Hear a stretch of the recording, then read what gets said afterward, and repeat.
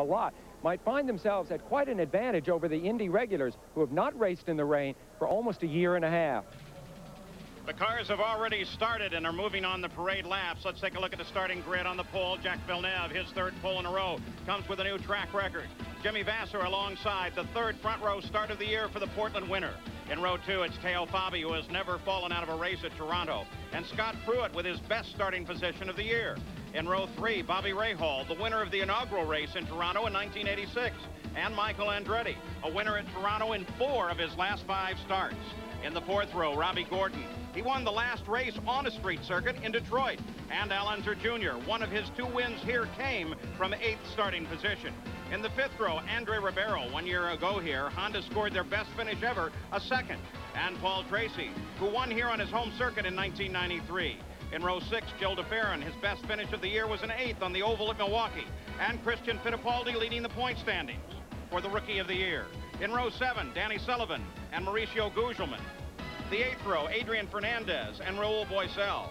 The ninth row, Emerson Fittipaldi, the 87 winner, and Stefan Johansson. In row 10, Bryan Herta and Eddie Cheever. The 11th row, Alessandro Zampedri and Eliseo Salazar.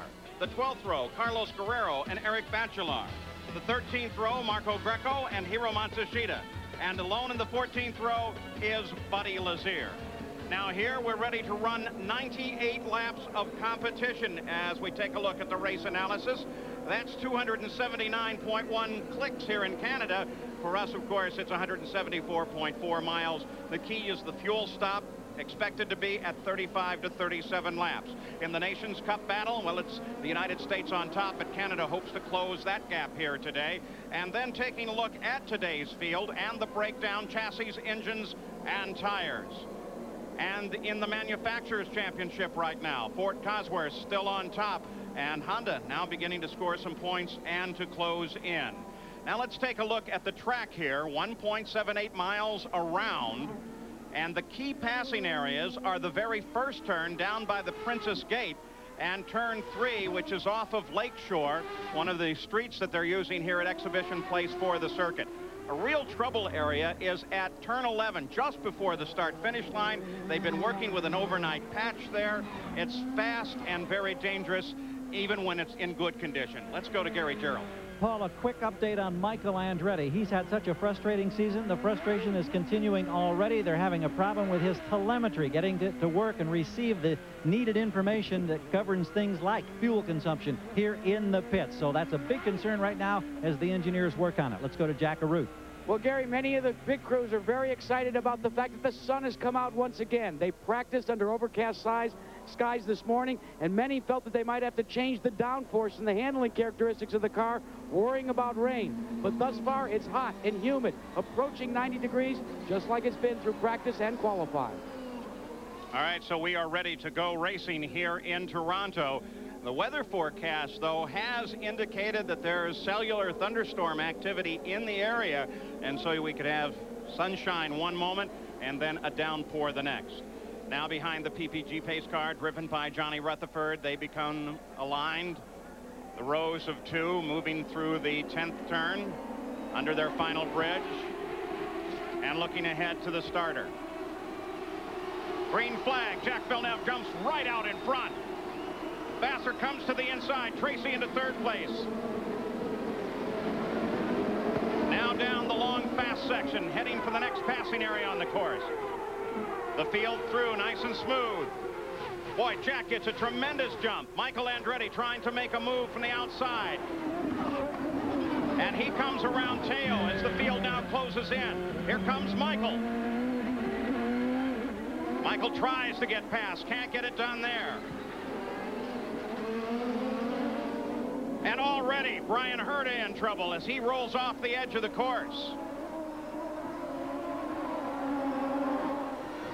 Scott Pruett looking very strong, running in third. Michael Andretti trying to catch up to him. Front of the field is still Jack. And this is the view back from Bryan Herta's car as they try to either get him off the course or get him going. Getting back into competition. Sounds like the motor is running. Herta snake bit here. This is where he had his big accident and his broken legs last year. Jacques Villeneuve leads the first lap as they scream across the line. That's the area that everybody seems to be concerned about, but so far looks pretty good. Now the indication now that they're going to go full course yellow, and this is the reason. So that will change the strategy. Probably not this early in the race. Not really. Everybody's in a good solid line. Um, I think Scott really showed some real aggressiveness there in holding the position, third position, uh, when Michael was trying to press. But other than that, I think everybody's uh, in a solid line, and it isn't really going to affect the race strategy that much. So full course yellow will come out, they say, though as yet we have not seen the flags that would indicate that. The field is lined up in competition. Jacques Villeneuve, Jimmy Vasser, Scott Pruett, Michael Andretti, Paul Tracy. Still looking. There was a report that they were going to slow this field because of Bryan Herta's position. They have not done so. Okay, keep an eye on the right side of the screen. Herta actually got in contact with Stefan Johansson and then Eddie Cheever. Cheever and Johansson both able to continue on and it looked like there was some contact with Eric Bachelart there behind at the same time. No full course yellow. They're going to keep in competition. It must have been on one of those. They have three corners here that they can actually put the car behind the tar barrier and remove the car from the track without having to, you know, go full course yellow. So it looks like that was one of the corners. Yeah, and IndyCar has been fairly conscious of that. Sam. Well, we saw waving yellow at this turn, and here is where they're trying to extricate Herta from the tire barriers. But they're obviously going to stay with that local yellow at that one turn, which is very good news for the race except that it's taking away, Lynn, one of the key turns, one of the two areas that you can really pass. That's right. I mean, but uh, it's early, so uh, I think that, you know, they've just got to really stay clean here and, and stay in line and stay close to the, whoever they're going to try to get by. As we ride with Bobby Rahal, just be uh, aware of how rough this track really is. We spoke earlier about Paul Tracy and the trouble he has with his injured left foot, and it's because of the bumps that throw his foot around inside the cockpit that he's in such pain in the race. Down past the first turn, the Princess Gate, you ride with Bobby Rahal. He runs in seventh position. 185 miles an hour down this back stretch, running along the shore of Lake Ontario. Then they slow for the tightest turn on the track right here, turn three. You see Rahal following Bobby. Rules for the waving yellow area generally say from the time you see it until the time you get past the incident or past the final yellow, you have to maintain position and cannot pass. Teo Fabi, number 33. Some that expect a great deal out of him today. He was quickest in the morning warm-up. Currently runs six. Paul Tracy closing down on his team, Mike, teammate Michael Andretti for fourth. And there's Bryan Herta, the walk back. I got to say, it's great to see him get away from his car and be able to walk away from it this year, which, of course, he couldn't last year. I would almost say that he's probably relieved at this point that he doesn't have to run here. Remember, he was in a terrible accident here a, year ago. In fact, at first they said he would never walk again, let alone drive a race car. And here he is not only driving the race car, but able to walk away from it after that first lap incident. Now, here's the man who's in great pain, Paul Tracy. Uh, his left foot injured. Uh, his stitches have come loose twice over the weekend. He spent more time over in the medical tent than in the race car. He had a bad night Friday night when an alarm went off in his hotel. They all woke up at 3 o'clock in the morning. He didn't get back to sleep. He's on some painkillers. This man may last only 10 or 15 laps before the pain in his left foot really begins to overwhelm him.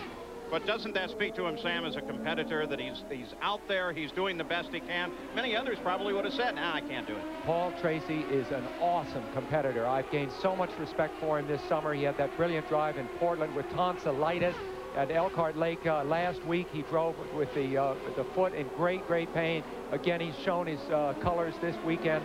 Paul Tracy is, is one of my major heroes, I'd say. So Jacques Villeneuve in the lead of the race with five laps complete. In second is Jimmy Vasser, then Scott Pruett, then Michael Andretti, the man we were just talking about, Paul Tracy.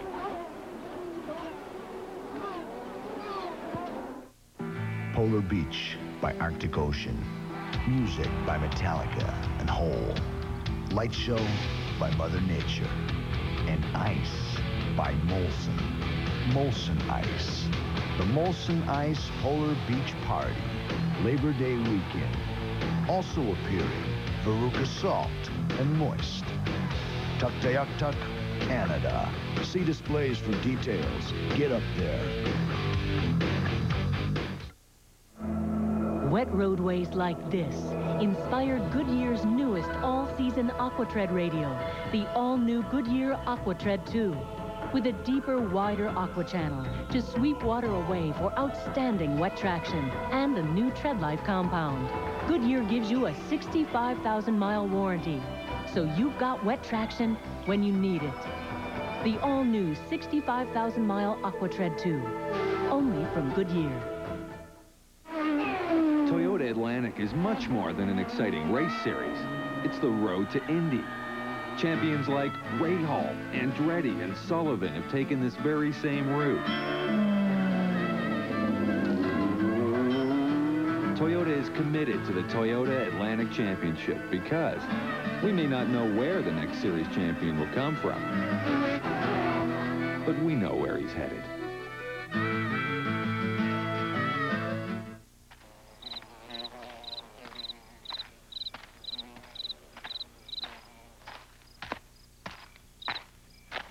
If you settle for a remanufactured engine without a brand name, be sure you've got a pair of name brand shoes. AC Delco Engines, the national brand name with the nationwide warranty. Call for a location near you. Of course, if you come in on foot, we'll understand. ABC Sports coverage of the Molson Indy Toronto Brought to you by Molson Ice from Canada, the land where ice was born. Toyota Motorsports, our minds are always racing. AC Delco Automotive Parts. AC Delco, it's like buying time. And Goodyear, number one in tires.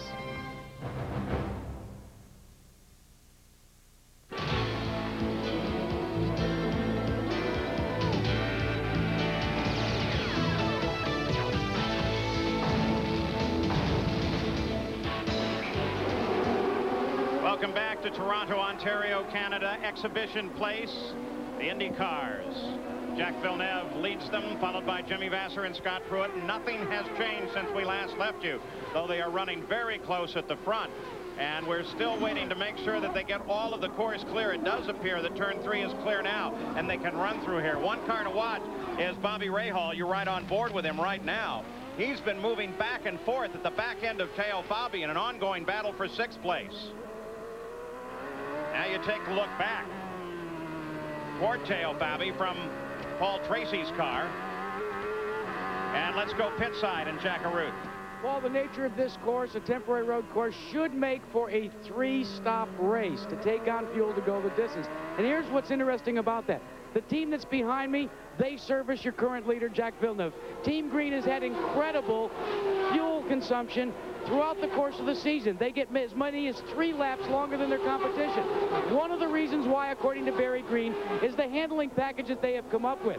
What they are able to do is go with less downforce, creating less drag. Therefore, they lead less horsepower to be able to go the same speed as the competition. Less horsepower being generated, less fuel being consumed. And sometimes that can play a critical role. We've seen it here before in Toronto, but we won't know until the onboard telemetry tells us what they'll have to take on for the last stop. But Gary Gerould for Michael Andretti, that onboard telemetry could be a problem. Well, it's a significant problem. The telemetry brings a wealth of information from the computer onboard the car by radio wave into the pits, and they have banks of computers down here that absorb the information, and the crew makes critical decisions. Fuel mileage is certainly one of the most critical. What they don't have now is the service of that uh, telemetry here from Michael Andretti. They're working on it. They're not sure they're going to have it by the time this race ends. So in the meantime, every few laps, Michael will come by. He'll radio his crew, his fuel reading on his dash. They'll try to make the calculations from there. Paul? Continuing to watch this close fight for six. Teo Fabi, Bobby Rahal lined up behind him. Now we come forward as Jimmy Vasser begins to close on the leader, Jacques Villeneuve, and Scott Pruett closes in as well. Here comes Michael. Here comes Paul. The rest of the field through. Look at Rahal as he moves back and forth. He's been doing this lap after lap on Teo. Back on board with Rahal. rumored split between Rahal and his longtime car owner, Carl Hogan. That's shaking the racing fraternity a bit. They may go their separate ways. They've been together three and a half years. Well, actually confirmed by Carl Hogan now, and in fact says he will have a team of his own for next year, and they will go their separate ways at the end of the season. Let's go to Gary. Well, we talked again this morning with Carl Hogan about this situation. So many rumors about the possible split with he and Bobby Rahal. Carl wanted to make it emphatically known that split has not occurred at this point. It may happen by the end of the season, but the thing that he wants to report is both he and Rahal will definitely be involved in IndyCar racing in 1996. Who they're associated with, that's what remains to be seen. Well, right now, Bobby Rahal, very racy. Look at him and Little Al and de Ferran as they line up behind Teo Fabi. What a great battle this is. Rahal is... Whoa, we've got a car off. That's Ribeiro. Ribeiro in the Honda engine car. You see him there. That's that tricky turn at the end of the long straightaway. I wouldn't want to be sitting there. Mm. I think they can see him as they break, Bill Paul. That's Pedri working his way by. Bachelart and the others. Question, of course, is did he keep the engine running and can he get it going again? Well, he can get some help there. There are a number of course workers. I think the answer is he did not keep the engine running. It's difficult to do with that six-speed box, the sequential gearbox now, which is actually five forward speeds, but you've got to go down completely through the gears. You can't just grab a gear. Yeah, so Lynn, what you're saying is, is you're losing control, and you're trying to go not just down to the gear you want, which would be second or first. You got to go through all the gears. All the sequences. Yeah. Fight continues at the front of the field. Bryan Herta, first one out with Gary Gerould. Bryan, the disappointment just continues to mount. What happened now? There was contact with Stefan Johansson? Yeah, I'm starting to feel a little bit like a pinball out there, you know. It's Stefan moved to the right to block me going into the braking at the end of the straightaway, so I went to the left side, and uh, when he saw me coming up the left side on me, just moved over and put me in the wall. There's nowhere I could go. Toronto has been a tough place the last couple of years for you, hasn't it? Well, you know, it's been good to me and it's been bad to me, but, uh, you know, I'm not going to blame it on the racetrack. It was, wasn't its fault. Thanks, Bryan. Thanks. Bryan Herta, good sense of humor as Andre Ribeiro gets that Honda fired and gets back into the fight. At the front of the field, it is still Jack Villeneuve, Jimmy Vasser, and Scott Pruett. There is Villeneuve. And that battle has spread out for a bit. Let's take a look up track. The leading two cars there, Villeneuve and Vasser, are both Reynard cars, but they're set up very, very differently. I look at them in the pits this morning. They have different wheelbases, different weight distribution. They're very different. Here comes Rahal taking another look at Bobby. Boy, this has been a great four-car fight for sixth place right from the green flag. Again, we ride with Bobby Rahal. Look at little Al as he tries to get down inside him. Rahal had his best race of the year here in Toronto last year into second place. It was his highest finish of the year, and it looks like he is again the master of this course. You know what worries me? You catch a glimpse of it on that shot we just had. Little buildup of rubber on the outside of the turn. Those, marble, those marbles are going to start building up as the day progresses, obviously, and it's going to make the line much tighter and much cleaner, and some of this uh, dicing around that you see Bobby doing won't be able to get away with. And it's going to mean they're going to have to be a lot braver. Lynn, you and Paul, of course, are talking particularly about Detroit a few weeks ago, where at the end of the race there was just one lane open for racing. But uh, recently, the uh, officials have decided to try to sweep the course whenever they possibly can when there's an incident. So hopefully it won't come to that. But if it does, it makes what we're looking at now in the early stages where passing is still possible all the more crucial. Still riding on board Bobby Rahal. You notice also the track the uh, pavement changes in the track. That also changes the amount of grip that they get. So as you go from asphalt there to uh, to concrete, it really dramatically changes the grip. So the drivers are constantly having to adjust to that. And as those marbles build up, um, it'll also change the grip. You can see them sitting out there on the outside. We talked earlier about the trouble area being turn 11 just before the start-finish line, where not only is it fast, incredibly fast, they've also had to do a lot of work on it, Lynn. Well, they tried to do a repaving actually last night, and, and it didn't work. So uh, what I found out is they had to take all of that off again and scrub it off and clean it off, and uh, it just didn't take and it didn't work. So they're back to the same turn 11 that they had all weekend. Newman Haas cars, Michael Andretti and Paul Tracy run fourth and fifth, Gary Gerould. And our first report on handling characteristics for both Andretti and Tracy. Both are reporting a touch of understeer. They may be having to make changes to the setup when they come in for their first pit stop. But both drivers reporting the same condition. What we don't know is if both cars were set up identically at the start of this race. Doesn't seem to be affecting performance at all. Fastest lap of the race. Bit of a surprise is Scott Pruett at 107.6. He turned that on lap number seven. We're on the 15th lap right now. So Third place, Scott Pruett, very much a contender here, especially considering that Jacques Villeneuve has traditionally been the fastest car on the circuit and certainly was a week ago at Road America. 15 laps complete. Every time the driving conditions change, the threats to your car's engine change. That's why Quaker State has engineered intelligent oil. Oil that senses those changing threats and adapts its own molecular structure to protect your engine, whatever the conditions. So, if the temperature changes, so does Quaker State. If the traffic congestion changes, so does Quaker State, the intelligent oil for longer engine life.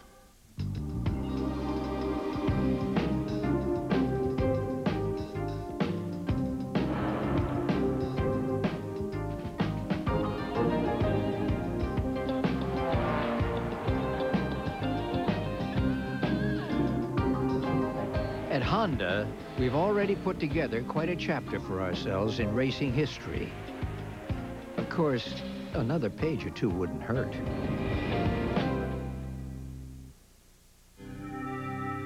It has a four-wheel independent suspension system designed to hug the corners and fly down the straightaways. It has a gleaming red finish, durable enough to withstand vigorous bumping. It seats one comfortably. And although this vehicle will never win any speed races, it will help you come out ahead week after week in the checkout lane.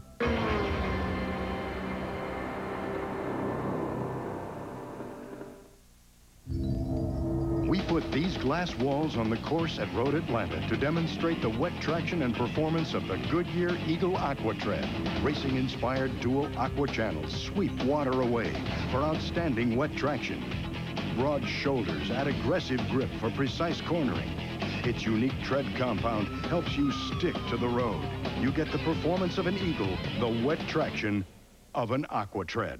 Eagle AquaTread, only from Goodyear. Baseball's best play the summer's hottest hit. The Yankees, the Dodgers, the Rangers, and the Phillies are all on Baseball Night in America, Monday on ABC Sports. Well, you can count on it. We go away for a few seconds and everything seems to happen. Al Unser Jr. into the wall.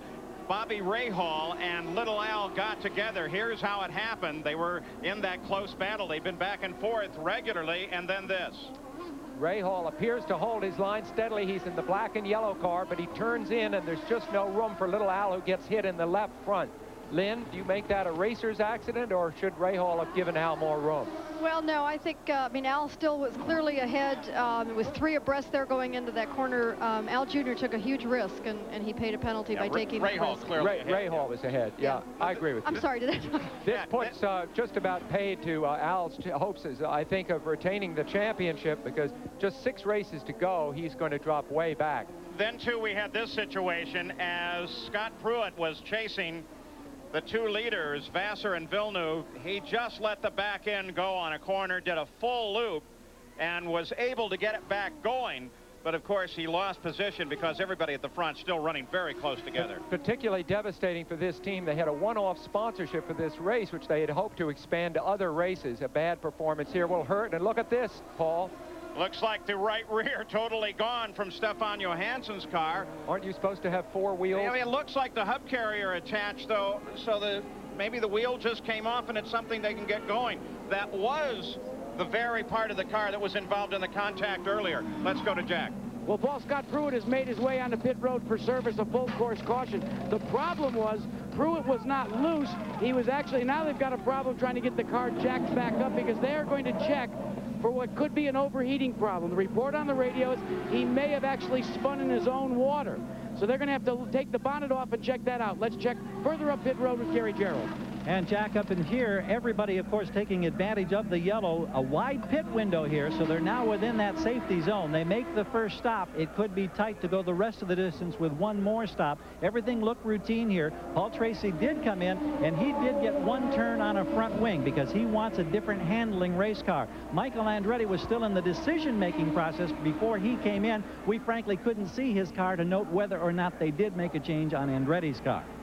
Going back to Scott Pruett for a moment, yes, right after he spun and got going again, we did see quite a display of fluid at the back of the car, so maybe that predicted this. Look at Johansson trying to get around. It's too bad for Scott Pruett because he had scored more points on these temporary street courses than anyone else and had a great chance today. So Stefan Johansson tries to work his way back to the pits while we're under a full course caution. Scott Pruett with what appeared to be terminal problems in the back of the car. Is that right, Jack? Paul, absolutely. A fitting at the front of the motor actually snapped in half, and that has taken Scott Pruett out of this race in Toronto. Back to you.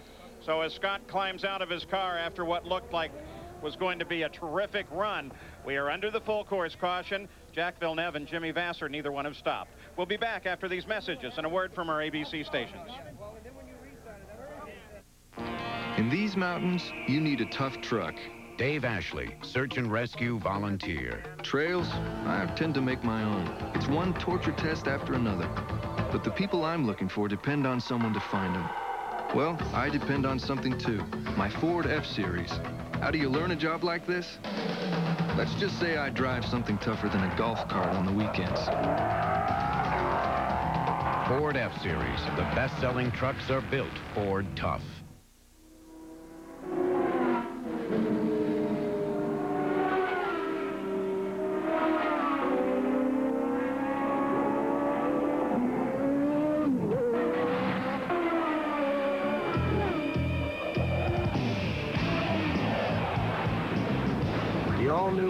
Genuine Draft Bobby Rahal IndyCar. Awesome. When opened up. Oh in the sun! Sunday. A network television premiere. Do you like to make love with your boots on? Yeah, get better traction that way. Well, if you get better traction, then you keep them on. Paul Newman and Lolita Davidovich in Blaze. Sunday at a special time on ABC.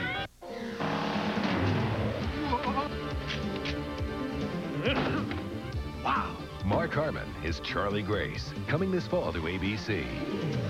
Looking for an apartment, condo, or house? Call Rentline 789-RENT. It's easy and it's free. Rentline has helped thousands find the perfect place to live, and we can help you. Call 789-RENT. Avoid the frustration and time of looking through newspapers or driving around town. Rentline gives you free detailed information 24 hours a day, 7 days a week over your telephone. Property owners and managers put Rentline to work to fill your vacancies. Call Rentline 789-RENT. Wherever you are, there's no better way to rent. Do you have bankruptcies, judgments, repossessions, bad credit, no credit at all? No problem. We can get you financed at Foothill Nissan. Hey, we financed over 35,000 customers with credit problems. And if you're a first-time buyer, we can get you into the new car or truck that you want. Come see the second chance people at Foothill Nissan.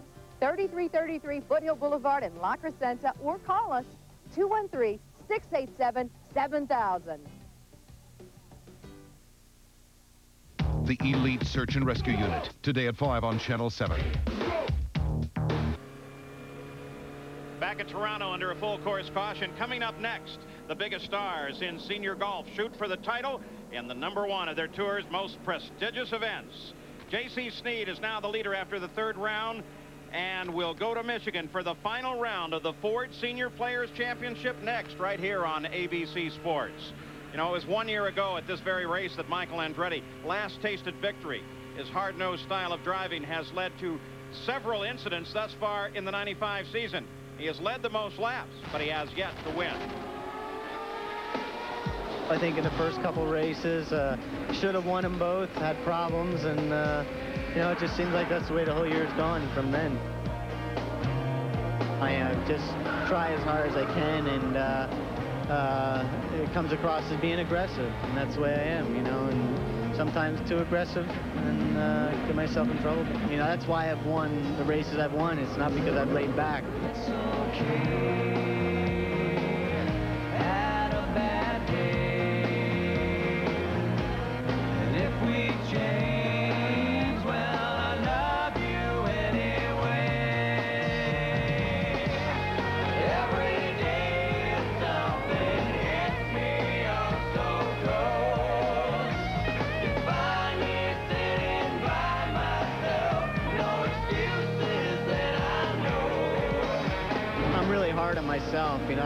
Know, my worst critic. You know, these are the times that make you appreciate the good times. And uh, so if we do get back there, and when we do get back there, I should say, it's going to be sweet. Under the full course caution, Michael Andretti currently runs in third place. The first two cars, Villeneuve and Vasser, have not yet stopped in the pits. Michael Andretti has made his stop. Now let's get some further updates. Jack Arute. Well, Paul, finally getting out of his car, the Patrick team driver, Scott Pruett. And Scott, we documented the fact that a water hose broke at the front of the engine.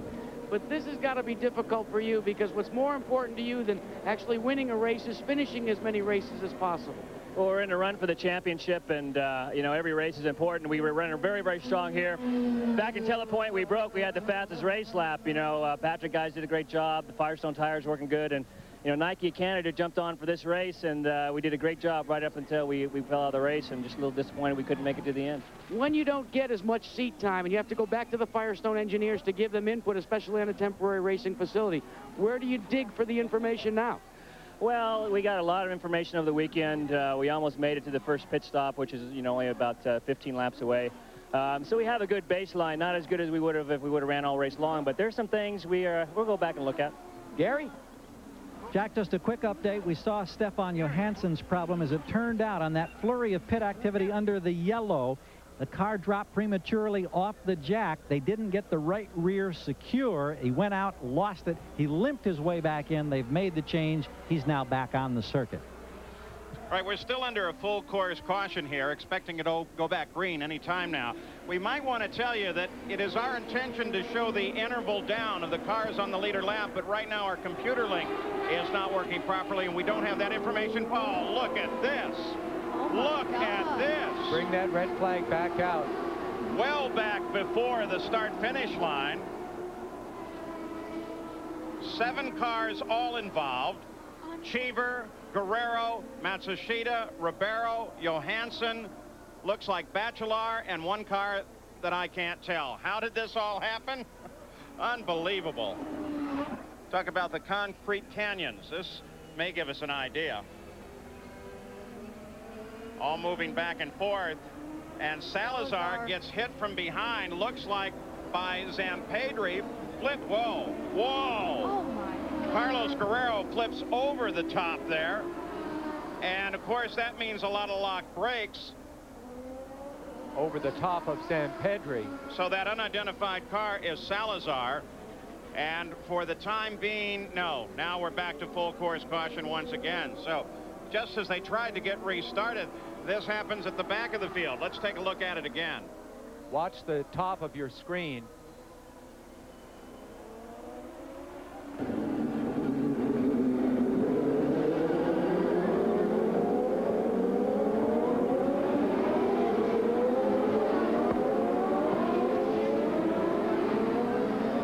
the great thing is that you could see that Zampedri was cleared by Guerrero completely, so he should not suffer any head or neck injuries. That was very scary moment. Imagine being in the car, being Zampedri, seeing it get very dark. We talked about clouds coming here, but that was a quick cloud. Well, and it tells you, too, about how much inertia, how much energy is in these cars, because it looked almost slow motion until Guerrero's car number 22 was caught by the rears of Zampedri's car and literally flipped up into the air.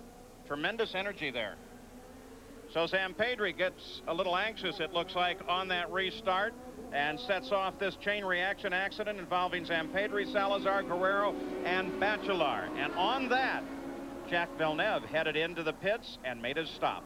We'll be back.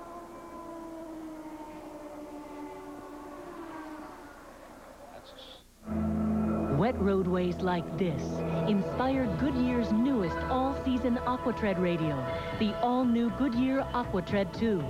With a deeper, wider aqua channel to sweep water away for outstanding wet traction and a new TreadLife compound.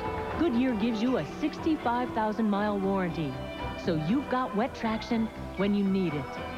The all-new 65,000-mile Aquatred 2, only from Goodyear.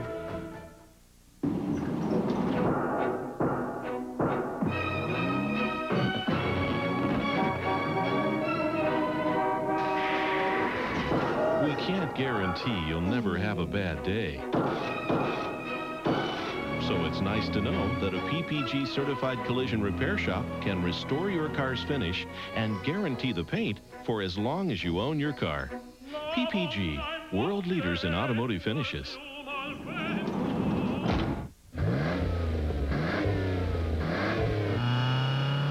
With new spark plugs, you get improved performance for a while. But only Bosch Platinum has a pure platinum center electrode that's heat fused for an airtight seal. So Bosch Platinum reaches its self-cleaning temperature faster for full engine power over a longer performance life, which means you'll replace a lot of other things before you change your Bosch Platinums. Bosch Platinum, the ultimate spark plug.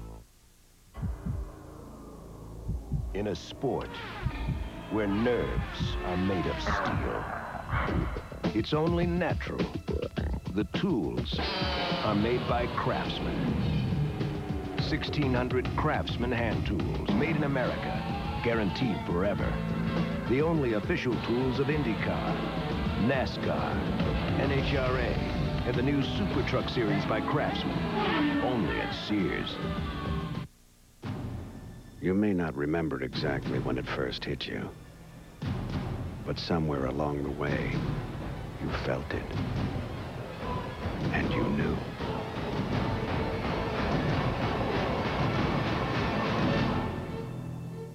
It's coming. The Senior Tour's biggest stars look to drive away with top honors in one of their premier events.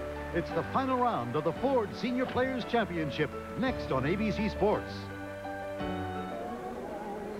Back at the Molson Indy Toronto, Michael Andretti has assumed the lead on pit stops. We're still under a full course caution. And let's go back to the previous full course caution. Gary Gerould's with Al Unser Jr. Now, two weeks in a row, it's an early out, and both times involving contact, this time with Bobby Rahal. Tell us how it set up when, from your view. Well, we were trying Bobby on uh, on the inside, and, and really I kind of missed on my gears. And so at the the last quarter of the straightaway, I'm on my rev limiter, and and and I just didn't have enough to get to go up in there. And and uh, laps prior, he was leaving a little bit of hole because he kept trying tail, and you know the train reaction would happen, and and I tried to go up into a hole that wasn't there, and and I locked him up, and and I ran in the back of him. Does this really seal it as far as your hopes of repeating a championship, or you still got enough time you feel you can make a run at this deal? Well, you know, sure, we got plenty of time to, to make a run at it. There's a lot of points available, but, uh, you know, it makes it very slim, really. And so, uh, you know, we'll just see how what how they do today. If the guys behind win and so on, then uh, then it'll look better. But Give us a quick idea of the track conditions, and we know there was concern on the kink here at turn 11 after the repairs they tried to make overnight. What was the feel of this racetrack? The feel was really good. The, the track was good. You know, the as long as the, the rain stays away, it's it's going to be great. You know, the track was a little bit quicker than than what we had had thought of, and and so uh, you know that's why we were a little bit short on our gears and everything. So. Well, this emotional roller coaster is taking another nosedive. Thank you, Junior. Yep. All right, let's go to Jack. Well, Gary, this caution is a good break for Team Green and your leader, Jacques Villeneuve, because just before it, in that last caution, they were extremely upset with IndyCar officials. Now, I asked Barry Green about it. You were upset because you didn't feel you had enough time after the pack up to pit? Well, Jack, it's, it's, it's very clear on a road course we should be given the opportunity to pit. We're the leader they should key the full course yellow off us. And we're very upset right now because IndyCar need to pay a little more attention to that. This is big business right now, and we can't afford. Now we're stuck in fifth position, and only by great pit work here on the players' team did we get. Are we still in fifth position? Now, the other question, though, is also we understand that there might be a slight problem with Jack's helmet and that in all of that pit stop strategy back and forth, trying to come in, maybe fell out of sequence, and you weren't able to repair the helmet problem that he was complaining about. Well, it's, it's not a major problem. Uh, the cables for the radio have come a little bit loose, and we were going to tape them up, but it was so important to maintain a good track position there that we couldn't mess around with that. We had to get him back on the racetrack. I don't think that's, that's a big problem. But Lyn St. James, as you know, having sat in the cockpit of one of these, composure is so very important, and knowing that maybe a connection there for your radio isn't actually taped down properly, well, you could think about it a couple of times, couldn't you? Yeah, but not not really. You've got to race and not worry about stuff like that. cars involved in that crash, but take a look at Salazar. They're trying to get him going once again. Let's uh, just remind you that now under the yellow, it's Michael Andretti, followed by Mauricio Gugelmin, who has not yet made his pit stop, the only one who has not. Now, next Sunday, the IndyCar action will continue in Cleveland. Last year's winner, Al Unser Jr., battles a marvelous field of drivers on the shores of Lake Erie at the Cleveland IndyCar Grand Prix. That's next Sunday here at 3 Eastern, 2 Central. But don't forget, we're going to be going on here on ABC from there to the Michigan 500 and then to Indianapolis for the Brickyard 400 and at Mid-Ohio, at the, at the Mid-Ohio Sports Car Course in Lexington, Ohio. All that racing coming up here on ABC Sports. So still under the full course caution, this is the fourth place car, Bobby Rahal, as they begin to compress that field and hopefully can go green shortly. In the meantime, let us go to Jack Arute. Well, Paul, you alluded to the fact that Bobby Rahal has been running so very strong. In fact, he has radioed into his crew that it, that is indeed the case. The frustrating thing, though, for Rahal has been track position. He's running strong, but not strong enough to overcome in some of the difficult passing areas on the racetrack. He was complaining most loudly about the combustion engineering car for Teo Fabi. But he was able to get by Fabi during all of this. He is currently shown in a podium position, but he has told the team no changes on the car. I'm extremely happy with the way it's handling. Let's check in with Gary Gerould. Well, it's busy on pit road. Here's one of those that was involved in that wild melee as they came down to, to get a green flag. Eric Bachelart, you're obviously physically all right. Uh, what did it look like from where you were, and how did this all unfold? I think there was a blind corner, and uh, so right after the, that corner, all the pack slowed down a lot, almost stopped. So we were a bit surprised, you know, at the back of the field. And uh, so I braked, went into the right, and I don't know, suddenly the, cam, the car went sideways. I hit the wall. I don't know why. I don't know if somebody hit me by behind, from behind. I'd like to see on the tape because really it was a kind of a surprise because we were going so slow and it was kind of spectacular because then I, I could see Guerrero flying all over my teammate.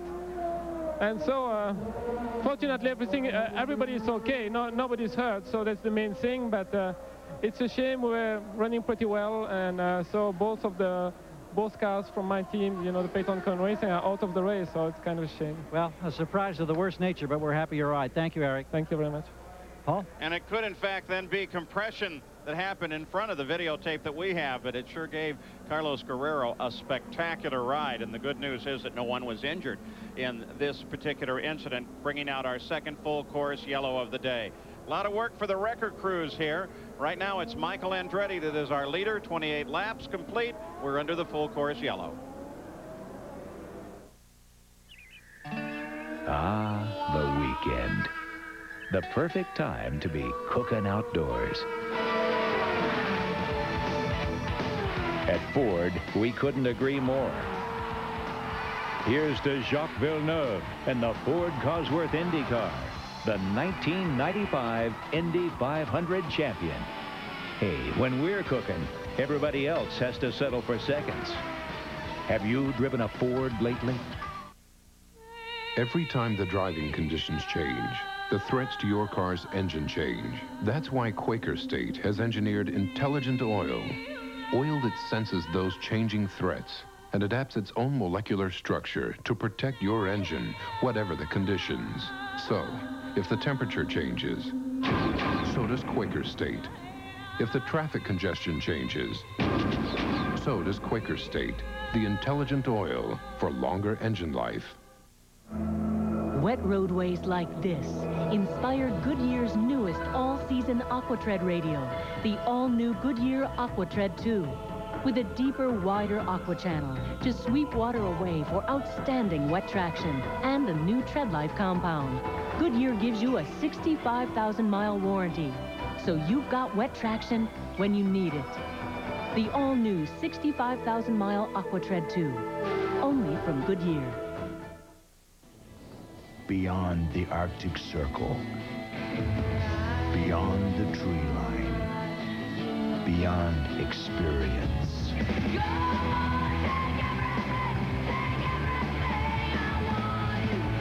The Molson Ice Polar Beach Party, Labor Day, with Metallica and Hole. Also appearing, Veruca Salt and Moist. Tuktoyaktuk, Canada. See displays for details. Get up there. Still full course yellow, but you can see they intend to go green on the next lap. Let's talk with some others involved in that accident just a few moments ago, Gary Gerould. Well, it looked like a rodeo, the Wild West, the Buck and Bronco. Carlos Guerrero, you took quite a ride. Airborne, you came down. You're, you're okay. Was it a situation where it just stacked up on a blind corner? What happened? The thing is that the guys at the at the front uh, go fast and then slow down to make like a chain reaction. Uh, the problem is in a blind track, you never know when, when where are they going to stop. So I, already uh, lost a little bit of space, so I was trying to catch them up. So when I come out uh, that uh, right uh, turn, blind turn, uh, I saw Greco was sideways and Zampedri was starting hitting Salazar and everybody was with the cars on, on, on the road. I, I couldn't brake and I jumped over everybody and that's the end. Well, at least you landed all right and you're okay. Thank you so much. Let's swing over to Alessandro Zampedri. You were involved also. What was the view from your cockpit? Uh, basically, when I turned right in the blind corner, uh, I saw my teammate car, uh, Eric Bachelart's car, sideways in the track, uh, close to the wall, backwards in, uh, on the right side, and another car was in front of him. And Salazar in front of me just locked the wheels and brake. We were pretty close and I locked too, but I couldn't miss him. So I hit him in the back, and that was it. But then in, after two seconds, I heard, I heard somebody hit me on the back very, very hard and just run over me, and that was Carlos. So I think except for the guy that really caused the accident, there was nothing to do for us. I mean, it's a very it's a very blind corner, so you have no idea what can happen there. All right, we're back racing. Thank you, Alessandro. And the question now, are Michael Andretti's frustrations ready to come to an end because he leads the field back? The previous leader, Jacques Villeneuve, sits back in fifth place right now. And in second place is Mauricio Gugelmin. Now, look here. Here are two cars directly in contest. On the top of your screen is Tracy, who currently runs in third place. The bottom of the screen is Rahal, who is... Oh! That's well, right place at the right time for us, not for Paul Tracy. Now, he's got the engine going. As soon as the field gets past, he should be able to get it around and get back in the competition. But he was third, fighting with Rahal. Tracy is traditionally so ambitious on these restarts. This time, it may have gotten him in some trouble. Now, Lynn, back in, back in that, well, let's look at the replay first. There is Tracy as he gets caught up trying to get around Gugelmin. Well, Gugelmin was, was trying to make a, a pass. Yeah, I think Gugelmin was really trying to make uh, make a pass there, I think, and come in. Because uh, was running second and Tracy was third. was going for the lead on Michael. Sorry. Gugelmin's down to the inside there, or does that quick. Yeah, look yeah, at that. Yeah. But, you know, that's... Let's take a look at it from the onboard camera on Michael's car, on Tracy's car, excuse me. That's Michael. Just yeah. Tracy, yes, the black. You could see Tracy coming together with Gugelmin hate to say it, but I'm also thinking of Tracy having to use that left foot a lot. He had to use the clutch a lot there because you don't use the clutch that much when you're uh, driving, you know, regular green laps. But boy, just to be able to uh, get the car turned around, he had to do a lot you of left to put footing. the clutch in there. Successfully got it done, though. It had to hurt. So we'll keep an eye on Paul Tracy as he starts to make his move back through the field. You see how it changes things here at the front. You know, everybody's advantages works to somebody else's disadvantages, but here Michael's back leading, as you mentioned, and he is, this is the seventh race that he has led in Toronto and the nine starts that he's had, and, you know, Michael's in the position that Michael is used to being in, out front, uh, you know, commanding a racetrack, and I think you're going to see maybe he's going to settle in here. And he's led, of course, all but two of the races so far this year, the last two. So this is a resumption of the beginning of the season where he'd be out front often with a car with some kind of mechanical problem, but uh, carrying on in the lead. Michael Andretti continues to lead. Jack Arute. Well, Paul, one of the things that we've seen we, with the Goodyear Firestone tire battle is the fact that at some racetracks, the rubber actually begins to build up in what they call little tiny balls out on the outsides of the groove. Remember at Detroit we had that problem. Well, Michael Andretti has radioed in that that seems to be the case is what's happening here in some of the critical corners. He's a little bit concerned about the rough stuff that may be being thrown off of the tires. He's out front right now, but boy, if we begin to see that happen over and over again and they're not able to sweep the track under full course yellows, it could create some problems. Well, Jack, Lynn alluded to that exact situation in her opening comment, where the, that it might become a one-track groove. If it did, the pit stops would be all the more crucial. I think we're going to see that with you guys down there. Well, Sam, that's exactly what has got the Villeneuve team so upset. Yeah. Not the second caution that came out, the full course. That was a benefit to them. But they were upset about some of the problems that occurred with the first full course yellow. They felt that IndyCar had not reacted properly. IndyCar had no choice but to bring out the second full course yellow. But now they've radioed to their crew, make sure, Jack, that you try and stay in touch with the leader. Track positioning is going to be so critical. And Michael is just building that lead. It's now three seconds. He's got he's just building it. He's chipping it away at about a half a second a lap. But at the same time, I was looking at the at the course uh, is that Jacques is also capable of turning those speeds, but he's kind of locked back there. He's not going to be able to make a move necessarily. But Michael's pulling away. Now currently we're watching Mauricio Gugelmin running in second place. But Gary Gerould, it's been 34 laps since he's been into the pits. And they are thinking and hoping because they've radioed in and or Mo radioed in. He doesn't think there's any damage to the car after that contact. He thinks it's all right. They're hoping to stay out and go to lap 40 for their projected first pit stop. Now, of course, if they get a yellow flag between now and then, the gamble will have paid off. If they have to pit under green, all that position that he gained will then, of course, be lost. So they're they're still rolling it here, but they've still got five or six laps before that number 40 comes up. And you called Mauricio Mo. In fact, that's what the Pac West team calls him, Big Mo. And he is big, strong, and fast. Well, he is also very good at this type of track, these temporary street courses. As you see Rahal menacing him from behind, Big Mo is third in, in terms of the points scored on this type of track behind Pruett and uh, Al Unser Jr. So he is a master of this, and it's because of his background in Formula One, where they race often on tracks like this. But he's slowing this group down right now. His fastest lap today has still only been 105.9, and, and that whole group of, of Rahal and Villeneuve and Vasser, he's slowing them down. So, uh, and, you know, knowing that he's got to come in and make that pit stop, I don't think Rahal will take a risk. At the same time, he's slowing them down. Yeah, Let Michael pull away. He's slower by nearly two miles an hour than some of the faster cars on the course. And there comes Villeneuve he's closing in as well, as is Jimmy Vasser sitting just behind him. So this is the fight on the course. We'll keep track of it as we have some computer link back now from EDS. I want to thank them, and we can go through the running order with the intervals. This is a gift to Villeneuve because it's enabling, enabling him to close up on Rahal and perhaps make a move on him under braking. You see Villeneuve in the blue car pursuing Rahal in the black car. Look for a possibility of Villeneuve trying to outbrake Rahal. So 17 cars on the leader lap and one chain reaction accident. One omission as a result of uh, problems with the cooling line on Scott Pruett's engine and then of course an impact with the wall after contact with Bobby Rahal for Al Unser Jr. Takes him out. So now you ride once again with that third place car. Just ahead is Gugelmin, who anytime, well, about three laps, we should see a stop by this second place car. And as suggested, question is whether or not there will be another interruption in the action for a full course yellow. Right now, it certainly doesn't appear to be a possibility. Leader, Michael Andretti, running at 107.3 miles an hour, his fastest lap thus far. So now 37 laps complete into the run here in the Molson Indy Toronto. We'll be back after these messages and a word from our ABC stations.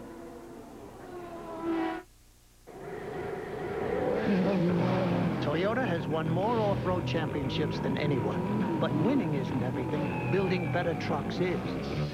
So after every race, we take our trucks apart, piece by piece. We look for ways to make them even more powerful, even more durable. Because whether we're building a one-of-a-kind racing machine or your one and only truck, at Toyota, our minds are always racing.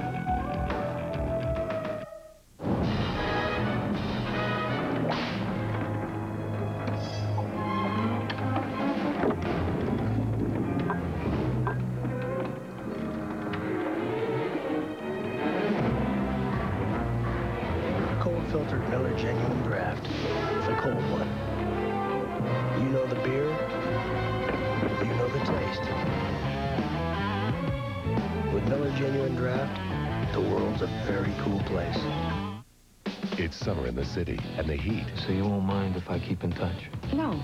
Are you two getting back together? is definitely on. You were spying on me? No. Please go away. I was not spying. NYPD Blue, Tuesday, viewer discretion advised. One lawyer, one law firm, one case, one mystery, one murder, one detective, one suspect, one victim, one mystery, one wife, one surprise after another, after another, after another. The one, the only, Steven Bochco's Murder One, this fall on ABC.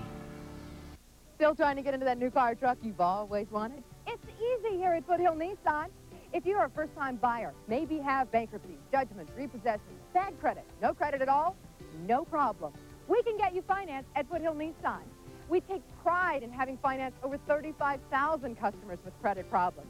That's why they call us the second chance people.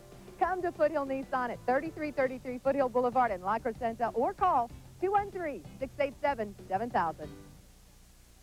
Looking for an apartment, condo, or house? Call Rentline 789-RENT. It's easy and it's free. Rentline has helped thousands find the perfect place to live, and we can help you. Call 789-RENT. Avoid the frustration and time of looking through newspapers or driving around town. Rentline gives you free detailed information 24 hours a day, 7 days a week over your telephone. Property owners and managers put Rentline to work to fill your vacancies. Call Rentline 789-RENT. Wherever you are, there's no better way to rent. Monday's Oprah, white relatives meet the black side of their family. Back at the Molson Indy Toronto, Andre Ribeiro just turned the fastest lap of the race at 108 miles an hour flat. Unfortunately, he's a lap off of the lead. Here is the interval leaderboard with Michael Andretti a full five, almost six seconds ahead of Mauricio Gugelmin, who they now say may be able to go yet another three laps before they actually make a stop on that car. Now, in ninth place is this car, Robby Gordon. We'll take a lap with him, Lynn.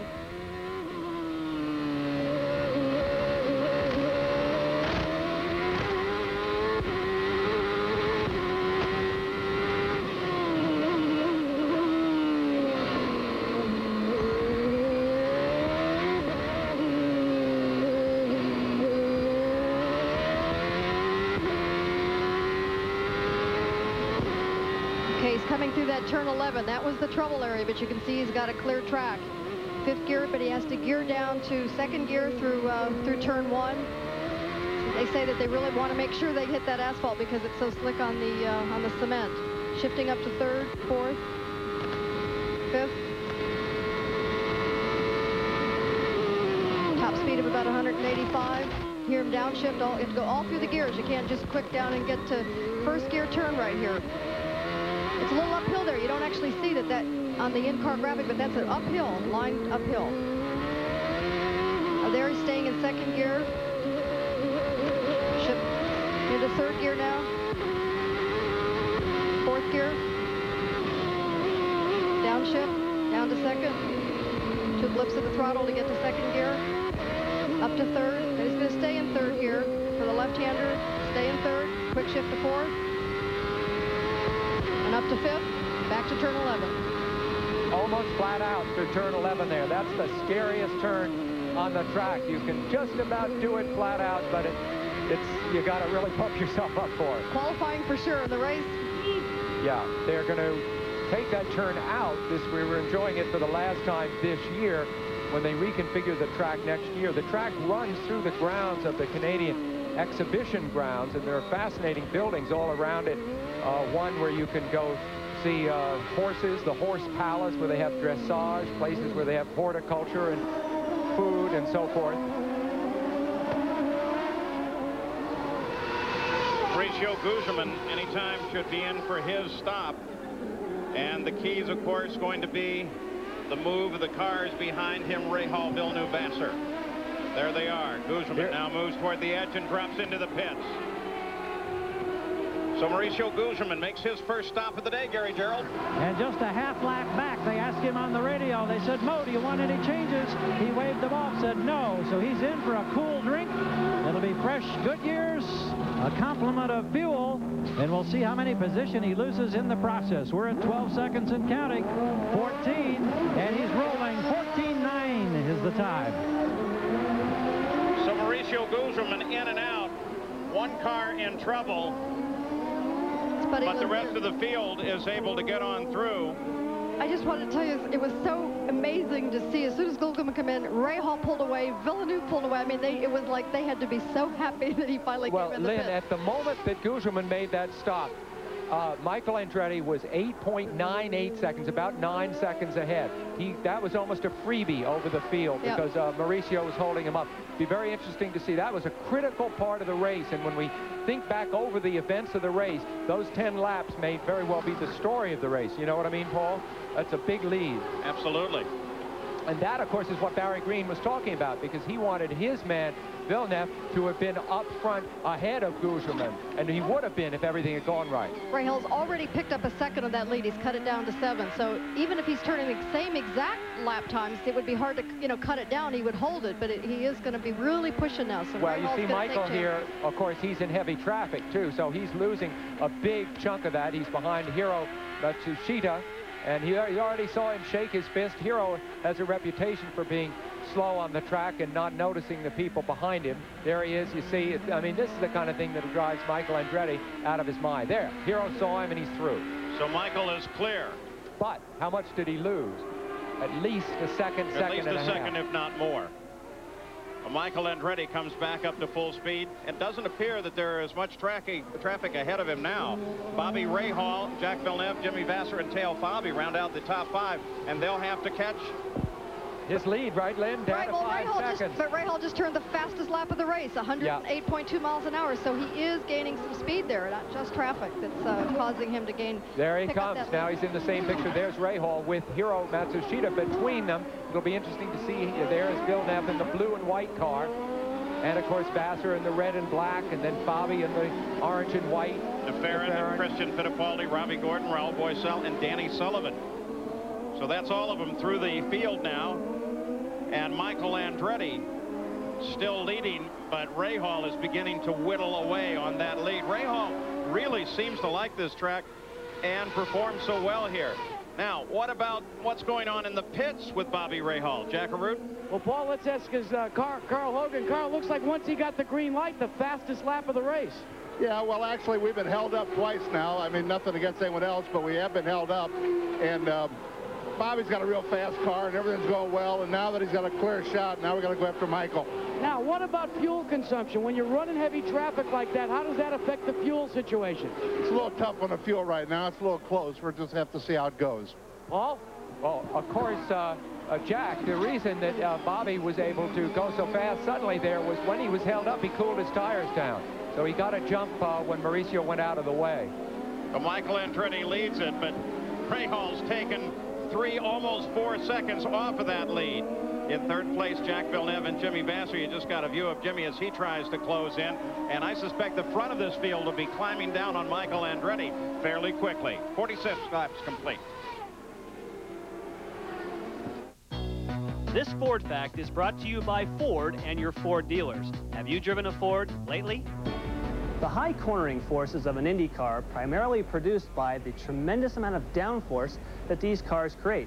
An airplane is designed to lift off the ground, whereas an Indy car aerodynamically is designed to press down to the ground. So much so that at 100 miles per hour, this car actually produces more downforce than it weighs, meaning you could run it upside down and it would stick to the ceiling. At 200 miles per hour, about 50% of the downforce comes from the underside of the car. If we were to flip the car upside down, this is what you would see. This is the underbody or under tray of the car. There's a small opening here where the air is fed into, and then it's drawn down into these tunnels almost like an, an expansion chamber that pulls the air across here, makes a low pressure area. That's where the car is sucked down to the ground. So important is this that in 1996, IndyCar will be making these tunnels narrower, hoping to take about 30% of the downforce away from the Indy car, slowing them in the corners and hopefully making them a lot safer. We made history on the American road. Now we're looking to the future. Introducing the new Ford Explorer.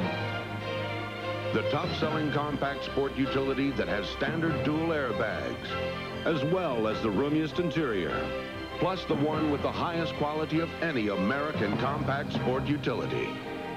The new Ford Explorer, far and away the best the world has to offer.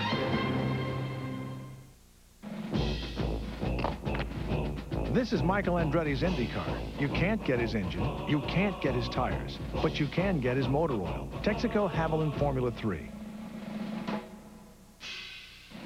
It's formulated to control volatility and fight oil vaporization. It provides complete protection, and it's the exact same Havoline you can buy right off the shelf, which, by the way, is a heck of a lot easier. Add more life to your car. Take it to the star. ABC Sports coverage of the Molson Indy Toronto. Brought to you by cold filtered Miller Genuine Draft, making the world a very cool place. Target. At Target, you can expect more and pay less. Splitfire, the patented performance spark plug. It only costs more until you use it. And PPG, world leaders in automotive finishes, sponsor of the PPG IndyCar World Series. We're back in Toronto. Tomorrow night, ABC Sports takes you out to the ballpark. See your favorite team in action on Baseball Night in America. Check your local listings for the game in your area. We'll have live regional coverage tomorrow at 8, 7 Central, here on ABC Sports. Michael Andretti still leads in the Molson Indy Toronto. But look at Herta, look at Villeneuve as they battle together. We see a car running slowly. There's Vasser, Vasser. right behind. Sorry. You meant right, right behind uh, Villeneuve there. Tight battle for third. Well, Michael Andretti, Bobby Rahal, and then Villeneuve and Vasser. And Rahal just up the ante at 108.2 miles an hour. He is flying. In just six laps, he whittled four seconds off of Michael Andretti's lead. Rahal, in addition to his win back here in 1986, has finished second and third any number of times. He's a real master of this track. This is the fight on the circuit right now. Coverage, by the way. Here. Whoa, as oh Fittipaldi, Christian Fittipaldi, wiggles it back and forth under braking, almost loses it. Marco Greco looks like he's got a problem with the left front, makes it into the pit safely. I'm going to say the coverage here is brought to you by CBC Television of Canada. That's the car we caught sight of moving slowly was Marco Greco. There's Rahal. Let's go pit side. Gary Gerould. We've got a couple of updates here now. Hand calculators still being used by the Newman crew relating to the leader, Michael Andretti. They did not get that telemetry fixed. So again, every few laps he comes by gives them manually what he views on his dash a reading. We've wondered about track temperatures. We've talked so much about weather. The track temperature Friday was 130 at its maximum. 131 degrees Fahrenheit yesterday. They started the race today, Paul, at 107 degrees. And at last reading just two minutes ago, it was only up one degree at 108. What a difference the overcast makes, even though it's still hot and sticky down here. Well, the cloud cover makes a world of difference to the track temperature, not so much from the ambient. Also, for the moment, it looks like that there going to be no rain figuring into this race. The start of the show, we suggested it might be, but while it's overcast, it looks fairly clear. Yeah, the people that would have benefited the most from rain, de Ferran and Christian Fittipaldi, are lying sixth and seventh. They're running well. Gary, it was interesting uh, with those uh, calculators out. Have you seen Apollo 13? It's kind of like going back to the old-fashioned way of doing business here. Let's go back to Adrian Fernandez, 11th place. And Lyn, here you get a real good look at the suspension travel in the rear. Yeah, you can really see the rear working and the, you know, as it moves up and down and how much travel it is. And this track, the drivers and everybody complaining how bumpy it is. You can see there as it went through a bump. And, you know, it's so hard to get the setup right here where you have enough um, of suppleness, enough, you know, clearance to be able to hit all the bumps at the same time to have a car, a chassis as stiff as you want to be able to go as fast as it'll go. So a lot of, of bumpiness. And I was also watching when we had that in-car camera with Michael, how much the wheel just feels like it's going to jerk right out of your hand. And, you know, in, in, a, in, a, super smooth track like the Speedway, you just think left and the thing turns left. And just here, if you watch your Shore. hands, you'll see that right there. I mean, he's not turning the wheel doing that. That's just vibration, literally feedback, kickback coming through the wheel. It's making that, you know, just jerk like it's going to jerk right out of their hands. So. Lyn, do you wind up with uh, sore wrists and stuff at the end of the race? Well, not so much the wrist, but your whole grip, um, you know, really is you get actual blisters and all of that, and, the, and it's almost like you can't release your hand from the wheel because you have to hang on to it so tightly, uh, but at the same time, obviously not so too tightly so that it doesn't jerk it out. Still, you'd rather be down there, wouldn't you, than You watching it. it. from up here? You yeah. got it. Oh, look at that. When you hit that turn 11 bump, I mean, it just, it literally feels like the car's going to go left, right. What is the satisfaction of driving? I mean, it looks brutally hard. In your words, I have my own ideas, but why is this such a great thing to be doing? Well, it just challenges every part of your being. I mean, it's the physical, the mental, you park the emotion, you absorb, you know, instead of us having our barrier be our body extension, it now is the fully extends to the whole car. So it, it challenges every part of your being and it's, it's it, you don't even think about the pain that Tracy feels in his foot. You don't think about the fact that the wheel's ready to pull out of your hand or that it's, you're getting beaten to death by the chassis. You're just making that car go as fast as you can and, and challenging yourself and your crew and everything, every part of your being to, to get the best there is to be gotten at that moment, which you hope is better than everybody else. Leaving Fernandez as he passes the stadium now, coming back to the leader, Michael Andretti. Two and a half seconds ahead of Bobby Rahal, who just upped the ante again, turned a lap at 108 and a half miles an hour. The fastest lap thus far. Back to the pits, Jack Well, Paul, let's update you. We told you about Bobby Rahal trying to chase down the leader, Michael Andretti. Well, what about Jacques Villeneuve, who was the early leader and was so fast in qualifying? Well, the only thing that they're concerned about right now is staying within sight of Michael Andretti. They feel so strongly about their prowess, Team Green, on pit stops, they feel they can pick up the one to one and a half seconds that they will need to overcome the leader. We've seen so many times in the last couple of races that the race is won on pit road. This team feels like they may have a good shot. They still have one stop to go where they can try and overcome Michael Andretti's lead. Let's check in with Gary Gerould. Teo Fabi runs solidly in fifth place. The first part of the race for Teo and his crew was not a particularly good one. They were having some difficulties with the pop-off valve that controls the amount of air that's forced into the engine to create the valuable horsepower. It has now settled down. They say it's working fine at this point. They're settled into a fifth place, but they were disappointed that they had that problem early. Back to that battle between Michael Andretti and Rahal. Russ Thompson, our statistician here in the booth, has been tracking that battle. On lap 42, Rahal was eight seconds back. We've just completed the 55th lap. He is only two seconds back, so he is riddle, really whittling away at Michael Andretti's lead and been turning some just incredible laps while he does that. But let's not lose the significance of the situation, which is that uh, uh, Mauricio Gugelmin is in the way again. There's Vasser locking it up, fighting for control. That is a beautiful piece of work. A lot of the drivers have their cars set up in such a way with a lot of what's called negative camber, the, uh, the tires tipping in a lot at the front that gives them trouble. It's, it's, good for tight turns. I'll get into that in a second, but it makes it very hard for them to brake at, uh, for these hairpins. Another thing is that on a street course like this, is you, you know, you always want a little more rear brake so that you're always sure to be able to turn it into the corner, but you know, you get a little too much rear brake, and as the chassis gets lighter, as you get, you know, fuel goes away, then you can sometimes lock those rears up. We do want to keep an eye on Vasser because about three turns ago, we saw a bit of a spray at the back of the car. Now, that could have been dust that he picked up close to the wall. Could also be a, a precursor to some problem in the engine compartment, so we'll keep an eye on him. Vasser is under just an awful lot of pressure right now, but there's nobody cooler this season. Vasser has come up through the ranks, through from sprint cars to Formula Fords to Atlantics, you name it. He's driven them all, and he's won in all the different categories, and he's taken his success in Indy cars this year with his first big win, of course, at Portland, very much in stride. He's a very calm, pragmatic man. You'll see it here. I would be surprised if he made a mistake under this pressure. Well, Michael Andretti has just turned the fastest lap in the race up to 108.7 as Joe Montana looks on with his wife Jennifer and watches Michael Andretti lead here. My uh, truck has uh, 99,000 miles on it and it's like a it's like a brand new engine. America is talking about Splitfire. I use lower octane now. Um, it seems like it runs like I had the, the premium in there. I feel like I have more power. I feel like I have a new engine. No hesitation. You hit your passing gear, you're gone. Right now. They'll pay for themselves basically in the first six months you own them. I think they're fantastic. Splitfire. at $5.99. It only costs more till you use it. It has a four-wheel independent suspension system designed to hug the corners and fly down the straightaways. It has a gleaming red finish, durable enough to withstand vigorous bumping. It seats one comfortably. And although this vehicle will never win any speed races, it will help you come out ahead week after week in the checkout lane.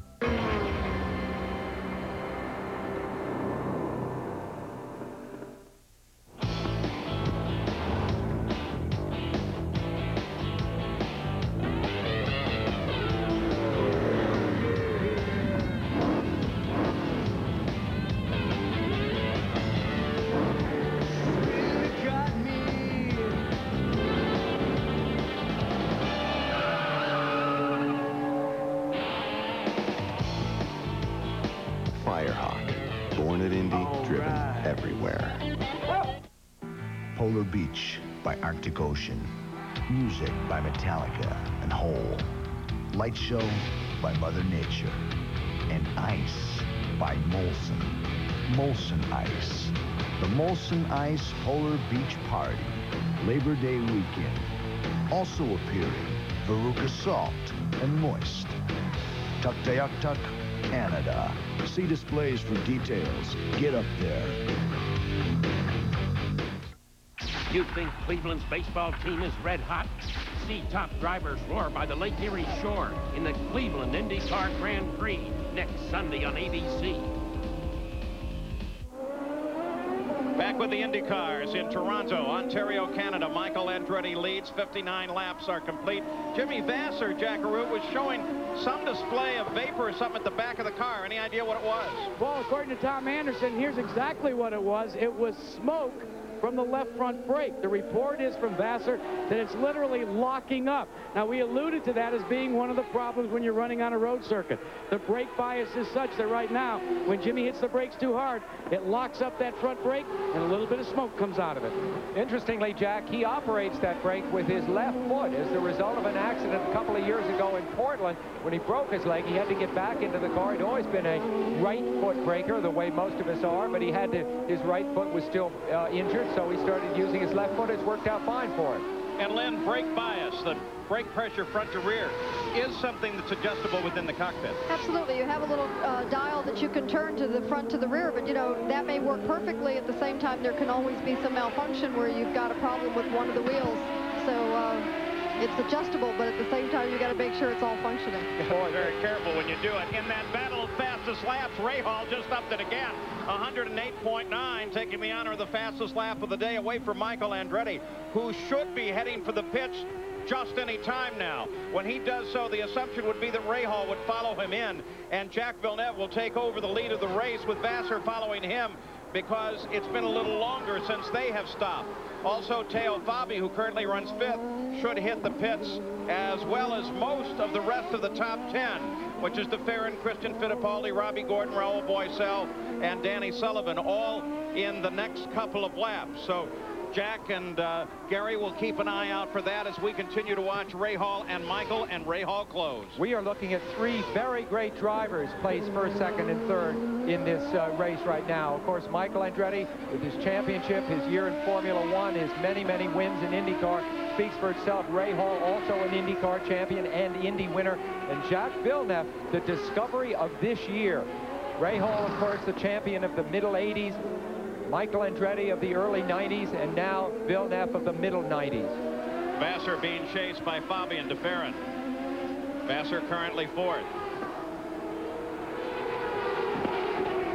And de Ferran heads into the pits. They're also laid out for the leader, Michael Andretti. He should be in shortly. In fact, you can see all up and down the pits. They now have the equipment laid out for stops that we anticipate for most of the top 10 here shortly. We follow Michael on what should be his lead into the pits. Michael with four victories here, the most of any man in IndyCar racing. Very comfortable on this circuit. Very happy with it. You can also from time to time get a glimpse of the buildup, the marbles on the outside of some of these corners, rubber that has been thrown off the tires. It's very slick if they get out there. there Michael Andretti on the pit road, leader of the race, Rahal, follows him in as well. So first and second stop, Gary Gerould, Michael's coming to you. At mid-pits, the crew's got a great look as he hits the marks right on target. Rahal blasts by. He's further up pit road, so now it's a battle of the pit crews. This should be the final stop. Andretti is expecting, there's the change on the front wing on the left side. He was complaining of understeer. They're holding him. They're holding him. Let's go to Jack and see how Rahal's doing. Well, Gary, they've completed their work on Bobby Rahal's car, except for the fuel. A full load, no exchanges, but he will follow Michael Andretti out of pit road back onto the track. Well, that was interesting. Both first and second, they held to make sure they had every drop of the methanol fuel in the car. Michael came out just a bit ahead of Rahal. Now the lead of the race will go over to Jacques Villeneuve. And, And, he should have, oh, several laps, maybe as many as 10 or 15 before he has to stop. Well, and this is where the crucial tactics comes in because Villeneuve is now running light. He's uh, near the end of his fuel load. He will be very, very fast compared to the just refueled cars of Andretti and Rahal. So this is a chance for Villeneuve to pour it on and to pull away decisively. He has to do that, actually, because, that you know, making up for that time that he has to make a pit stop. Let's go to the pits, Gary. And Paul Tracy gets away, and there's no problem. Remember the concern with that injured and broken left foot when he had to drop the clutch. Pit stops really hurt him the first time round last week at Elkhart. This time, no problem. Well, here's Jack a bit of a surprise as Villeneuve comes in, Jack.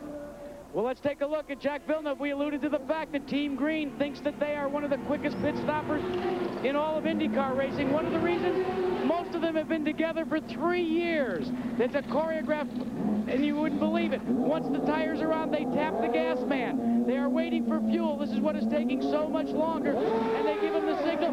He has no pitch to go out of. He is on the last one. He's back on the track. And he has to be careful not to get four wheels over that yellow line on the pit exit. That will cost him a stop-and-go penalty. Obviously, he did not. They made some change to the uh, front wings of his car, and that splash of, of fluid at the last that you saw there is simply water to dilute any methanol that might have dripped out during the refueling process on the side of the car. It just dilutes it, and there's no worry of fire. Now, Christian Fittipaldi has just received the black flag for a pit violation, so he will get a stop-and-go penalty. He currently runs in 10th place. That pit stop for Jacques Villeneuve was 14 and a half seconds, which is very good. Um, I happened to do some inquiries and found out to put an absolute full load of fuel in, no other change, it only takes about 10 to 13 seconds, depending on uh, which team is doing it and, and all that. So it was certainly quick, but probably they would have liked that to have been a little quicker. Interesting number. All of the uh, all of the fuel flow is gravity feed. So toward the end of a race, when there's less fuel in the tank, it takes a little bit longer for the fuel to flow down into the car. 40 gallons of fuel transferred from an empty car to a full car. Remember Australia earlier in the year with Michael Andretti in the latter stages of the race being pursued by this man, Bobby Rahal, in his black and yellow car. At that point, Rahal was able to pressure Andretti into braking too late for the next to last turn. Michael went off and uh, uh, Rahal went through to claim second place. So I'm sure that is in the minds, that incident is in the minds of both these drivers. So here is our order after the stops. One indication, too, is remember when you're talking the transfer of 40 gallons of fuel, you're talking over 280 pounds. So when they talk about the handling differences of a car before and after a stop, there's a substantial change in weight on that car. Danny Sullivan being brought into the pits under tow. You saw the IndyCar safety vehicles out on the course a few moments ago. This was the reason. So Danny Sullivan has lost considerable position and fell to 19th place with that tow in. We'll be back after these messages and a word from our ABC stations. I get here early to stock up on Texaco Havoline Formula 3 motor oil because it gives my engine complete protection. Me too. Michael Andretti. Texaco Havoline Formula 3 is formulated to control volatility and fight vaporization. And it's the same oil used by championship racing teams. Empty. Tough track, huh? Take it to the star. Beyond the Arctic Circle. Beyond the tree line. Beyond experience.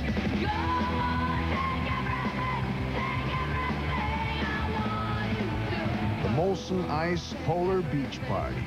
Labor Day.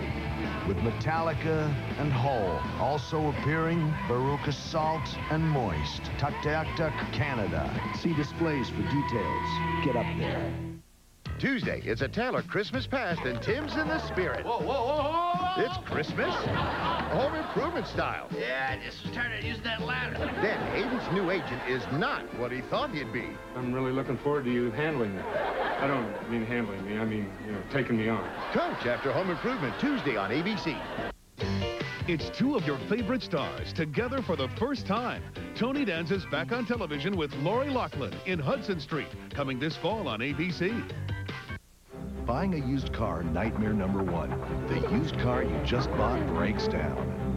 It could cost you a fortune. How do you avoid this? Buy from Cars Yes, the nation's largest used car company. Only Cars Yes gives you the peace of mind warranty. We warranty the engine, transmission, and many other parts for 12 months, whether your credit is good or bad. Call 1-800-CARS-YES, where peace of mind is guaranteed. Next time, cars, yes. He's really excited about putting all his tires on sale. He really is. Sam Winston has been working very hard to prepare for his 33rd anniversary. He gets emotional about things like anniversaries. He's probably going to start singing real soon. See? Overwhelmed with joy. The Winston Tire 33rd Anniversary Tire Sale. Harold Green and Lisa McRee, Monday on Eyewitness News at 5 and 11. Back at the Molson Indy Toronto, Bobby Rahal runs in second place. Just puts uh, Mauricio Gugelmin a lap down and tries to chase Michael Andretti, who's about two seconds ahead. Our question really is Jacques Villeneuve, who runs in third place right now. Best indication, Jack Arute, was that he could have stayed out considerably longer than he did. Why would he have come in? Well, that calculation was based upon his first sequence of pit stops. But remember, we've talked about them getting such great fuel mileage. One of the reasons is they don't have to build as much horsepower. They don't have to consume as much fuel. That's not the case when you're running third or fourth and trying to chase down Michael Andretti. During that sequence of racing, Actually, Barry Green told Jacques Villeneuve, we've got to go for it and let it all hang out. And they consumed more fuel than they normally do under race circumstances. When I asked him about it, he said, we've got to put the coals to it to try and get the lead back. Jack, I talked to their aerodynamicist, uh, Tony Cicale. He said Jack had the road race setup versus the street course setup. That might be a factor, too. Let's go down to Gary Gerould. Well, we've been talking, of course, about the pain and the problems that Paul Tracy's having to endure with that broken left foot. And coming out of the pits last time did a marvelous job of controlling the clutch, not wasting any time getting out. But here's what they've done the last couple of days. Remember at the last race, Elkhart recently repaved, very smooth. You all talked earlier about how bumpy and how rough it is here, and the foot taking a thrashing in the cockpit. So what they've done basically is they've built a carbon fiber shell around, which he had last week, around this part of the foot. But now, to help cushion it, they've slipped down inside a silicone gel type material, a substance that they've sealed in there. Then they wrapped it all with tape. Paul said that that gave him much more comfort. And in the morning warm-up session today, he said it was really the best that it had been all weekend. He was in tremendous pain on Friday. It's gotten a wee bit better with that little adjustment. They also put some more padding down on the foot box area on the left side. He's doing a marvelous job once again, I think, under most trying circumstances. Currently running in 10th place. Uh, let's try and reset the stage now as we go to the final 28 laps in the race. Michael Andretti is the leader. And as you can see, being chased by Bobby Rahal, who's just two tenths back and battling with Michael. And then it's 20 seconds from Rahal back to Jacques Villeneuve, who runs in third place. And Jack right now has Vasser and Bobby climbing all over the back of his car. There's the leader, Michael Andretti.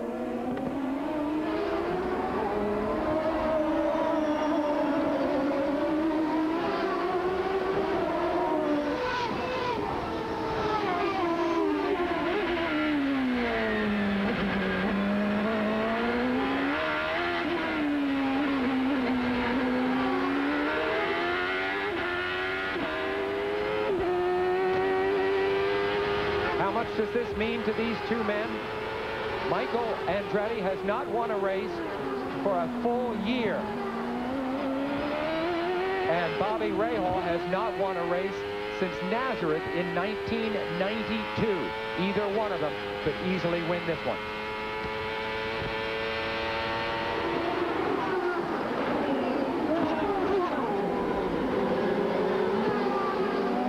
Backus Lohr cars just ahead. Danny Sullivan, the quickest of that group. And Eddie Cheever. Michael comes up behind Sullivan.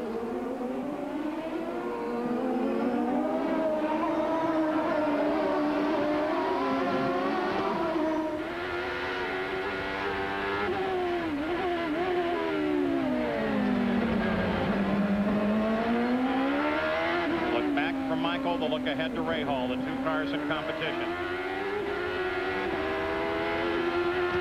You put yourself in the cockpit, and of course, particularly for Andretti, he's looking at the cars ahead of him that he's got to lap. And he knows it's not only a question of getting by them, but getting by them in such a way that it makes it tough for Rahal to get by him, too.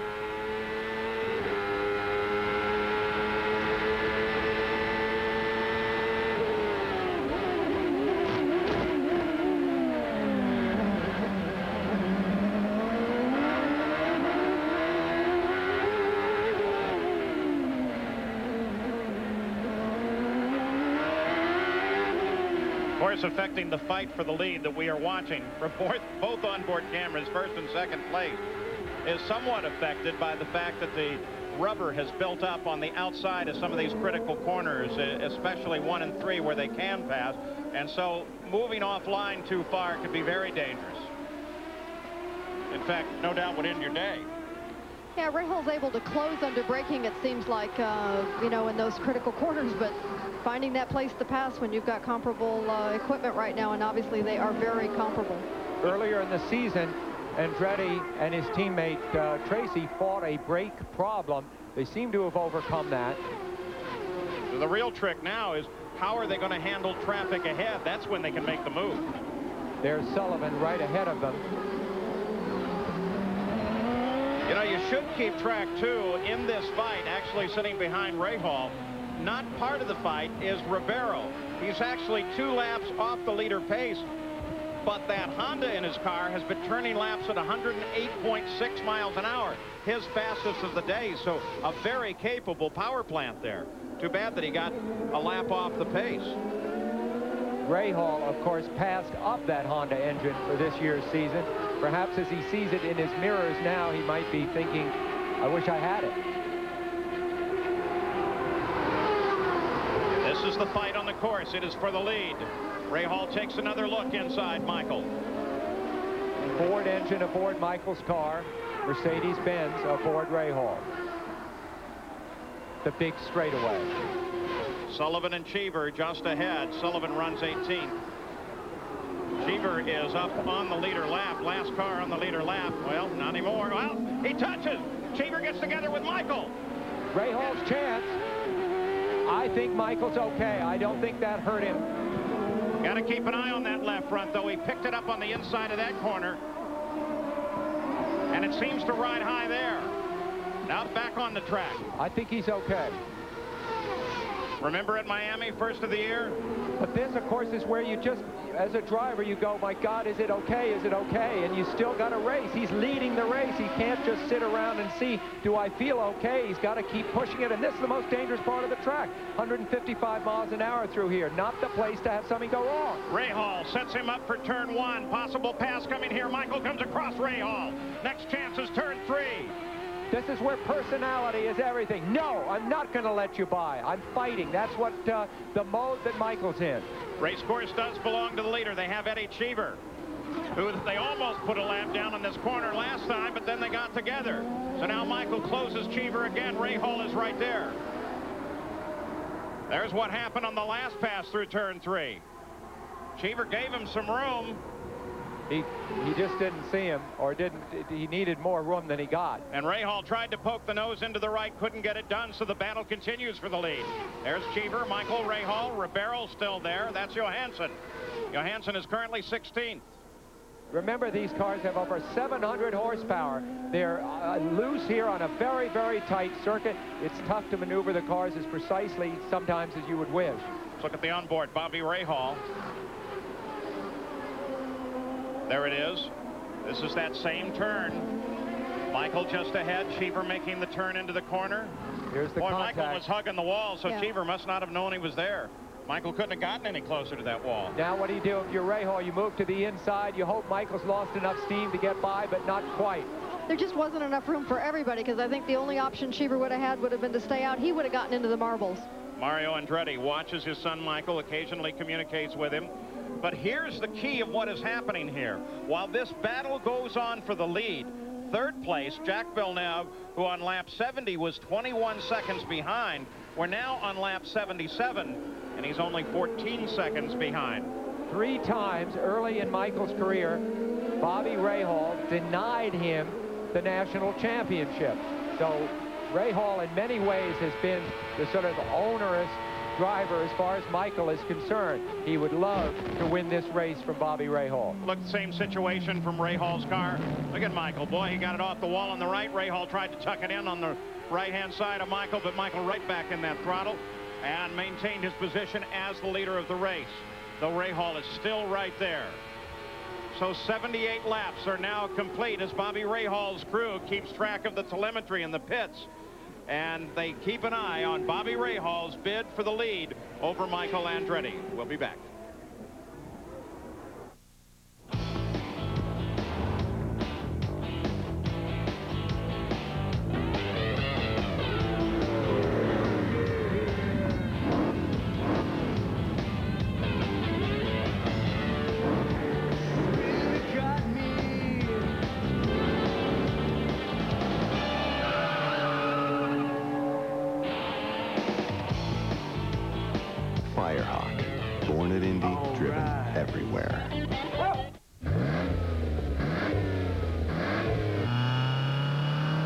Spark plugs, you get improved performance for a while. But only Bosch Platinum has a pure platinum center electrode that's heat fused for an airtight seal. So Bosch Platinum reaches its self-cleaning temperature faster for full engine power over a longer performance life.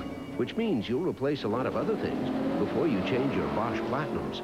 Bosch Platinum, the ultimate spark plug. In Alaska, we need a tough truck. DeeDee Jonrowe, legendary Iditarod racer. To get ready for a thousand-mile dog sled race, there are two things I count on. My dogs, This is Maverick. which I pamper, and my Ford F-Series, which I don't.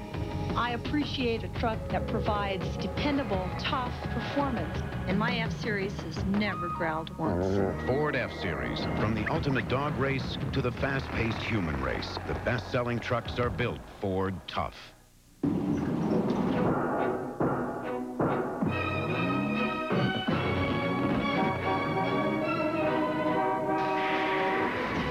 We can't guarantee you'll never have a bad day.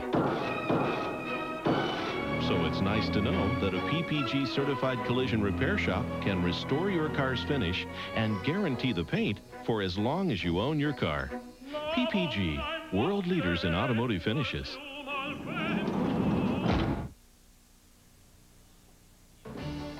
This is Roger Twibell, the Ford Senior Players Championship. We're in the final round. J.C. Snead has the lead, but he is being pursued by Raymond Floyd and the Golden Bear Jack Nicklaus.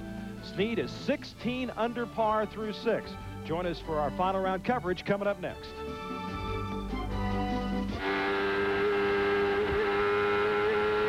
Well, Michael Andretti is the leader here in Toronto. Paul Newman is watching his car right now running.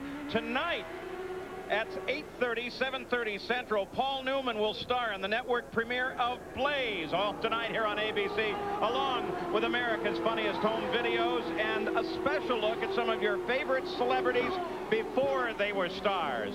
You know, if he'd found racing before he was a star, he might never have been a star. He loves it so much more. So now, Michael Andretti leads. Rahal is second. The Jacques Villeneuve interval has lengthened back out to 17 seconds behind Bobby Rahal. Let's go to the pits and see what the story is on Rahal right now from Jack Arute. Well, Paul, what we're showing you is the Mercedes-Benz engineers that work behind Bobby Rahal's crew. They were the first to be alerted that there might be an overheating problem on the engine. It was onboard telemetry. So what Carl Hogan did after getting that information, Carl radioed to Bobby Rahal and said, back away from Michael Andretti. They felt that the dirty air was what was creating the problem. So the interval between first and second has increased with, to Andretti's advantage, but on purpose, trying to cool the engine of, my, of, Bobby Rahal's car.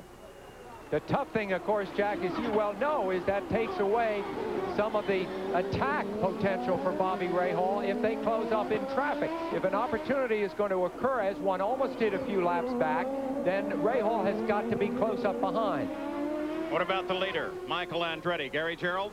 Well, his father Mario is here. Mario, in your first year of not being out here driving on this circuit of Toronto, you have the luxury of the big screen, so you saw that close contact between Michael and Eddie Cheever. How do you react when you see that?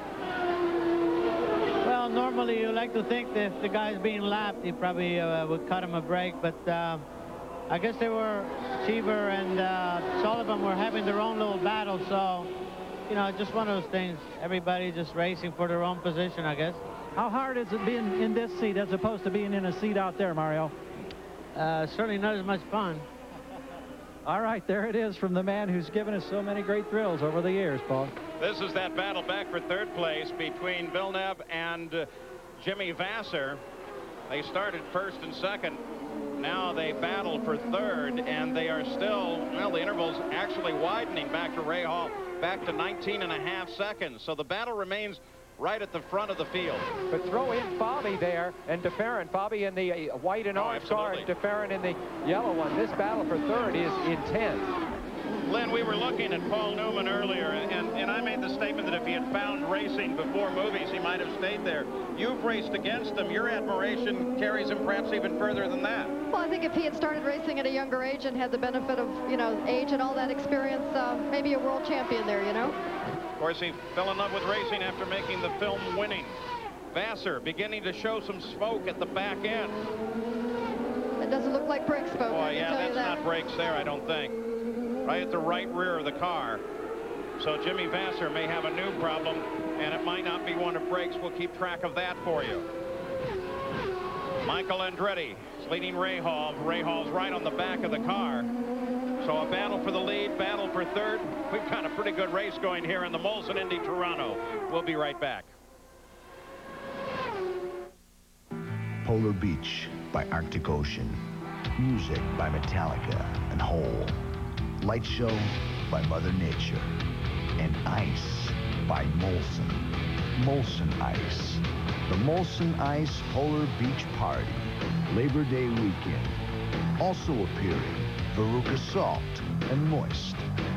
Tuktoyaktuk, Canada. See displays for details. Get up there.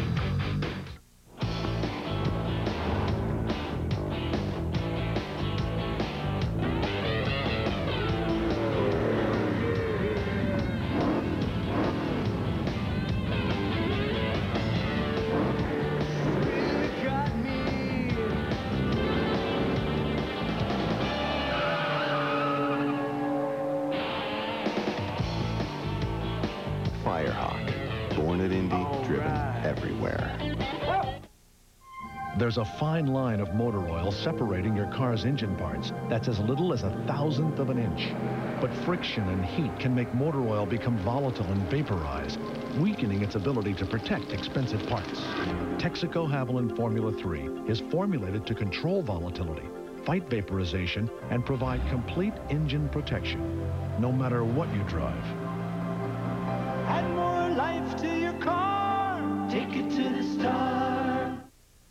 The new Ford Contour is full of great ideas at a great price. Exciting ideas, like Quadralink suspension for crisp, responsive handling. Comforting ideas, like air conditioning and Contour's exclusive Micron air filter. Safe ideas, like dual airbags and remote heated mirrors. Sound ideas, like an AM-FM stereo cassette. And maybe the best idea, you get all this for just 14,670. Great ideas at a great price. The totally new Ford Contour. Baseball's best play the summer's hottest hit. The Yankees, the Dodgers, the Rangers, and the Phillies are all on Baseball Night in America, Monday on ABC Sports. Well, that smoke at the back of Jimmy Vasser's car turned into a major problem, Jack Well, indeed it did for Jimmy Vasser, a broken header and then a fire in the engine compartment. Yeah, it's real unfortunate. You know, we had a good weekend going, and, uh, you know, we're happy about the performance of the team, but uh, seems like a few times too many we've been plagued with uh, this kind of bad luck. But it breaks your string of podium finishes. You've been doing quite well. Yeah, we have been, but uh, you can't rest on your laurels. You know, you got to come out and, and race every weekend, so we'll we'll get back at Cleveland and give it our best. Is there a new aggressiveness to, to Jimmy Vasser after that victory, albeit a couple of hours later in Portland?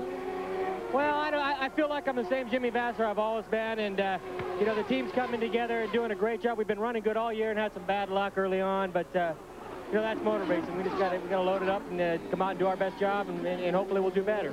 Paul? Jimmy's first DNF since his crash while in the lead at the Indianapolis 500. All right, now, that's what Oh, what's happening at the front of the field is Michael Andretti and Bobby Rahal still staying together, but you heard the wisdom of Carl Hogan to have Rahal keep a little bit back. Then Jacques Villeneuve is still 19 and a half seconds back from Bobby Rahal, but Teo Fabi and Gil de Ferran have closed in on the back of Jacques Villeneuve, so he has his hands full and doesn't seem to be able to make up any time on the leaders. So here's the key battle on the race course. We'll keep an eye on Jacques Villeneuve at the same time and see how he handles up Bobby and de Ferran.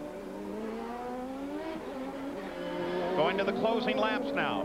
Final 10 laps. Laps. Let's go to Jack Arute. Well, Paul, let's update you. It seems as if Carl Hogan's advice to back off from Michael Andretti has solved the problem. The temperature has stabilized. What they've also done is they've gone to full rich on the fuel mixture, and they say right now they're back in the hunt to try and chase down Andretti. Full rich, of course, will let the engine run a little bit cooler but they are back 1.78 seconds, Jack, right now. So they have got a little work cut out for them, but there is time to do it.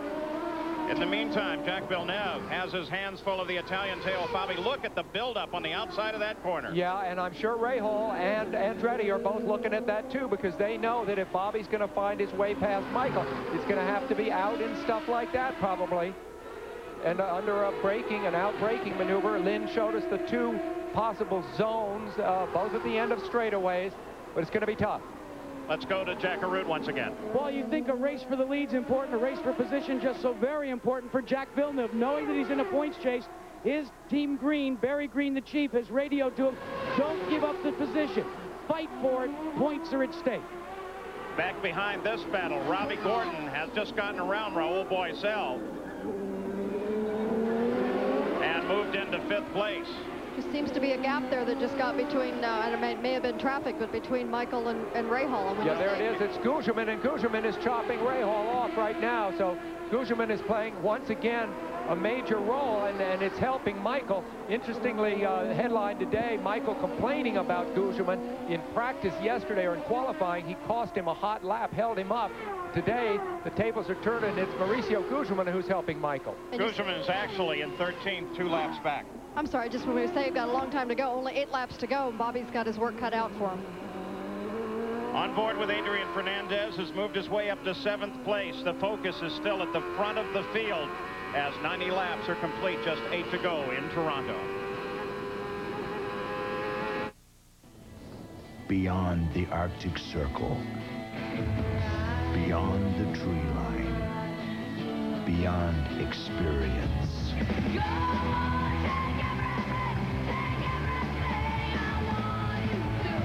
Molson Ice Polar Beach Party, Labor Day, with Metallica and Hole. Also appearing, Veruca Salt and Moist. Tuktoyaktuk, Canada. See displays for details. Get up there. This is the Texaco Havoline stock car. And this is the Texaco Havoline Indy car. And while these cars run on special fuels, we figured it was still a good way to remind you that Texaco Clean System 3 gasolines give your car unsurpassed performance. And Texaco Havoline Formula 3 motor oil and Texaco antifreeze coolant provide complete protection. But if we really wanted you to remember our name, maybe we should have sponsored something slower.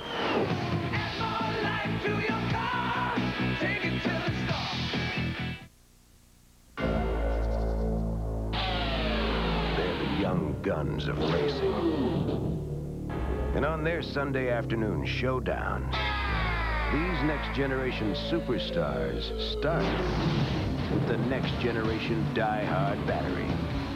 The longest lasting die-hard ever. The same die-hard you can buy at Sears. Don't trust your Sunday drives to anything less.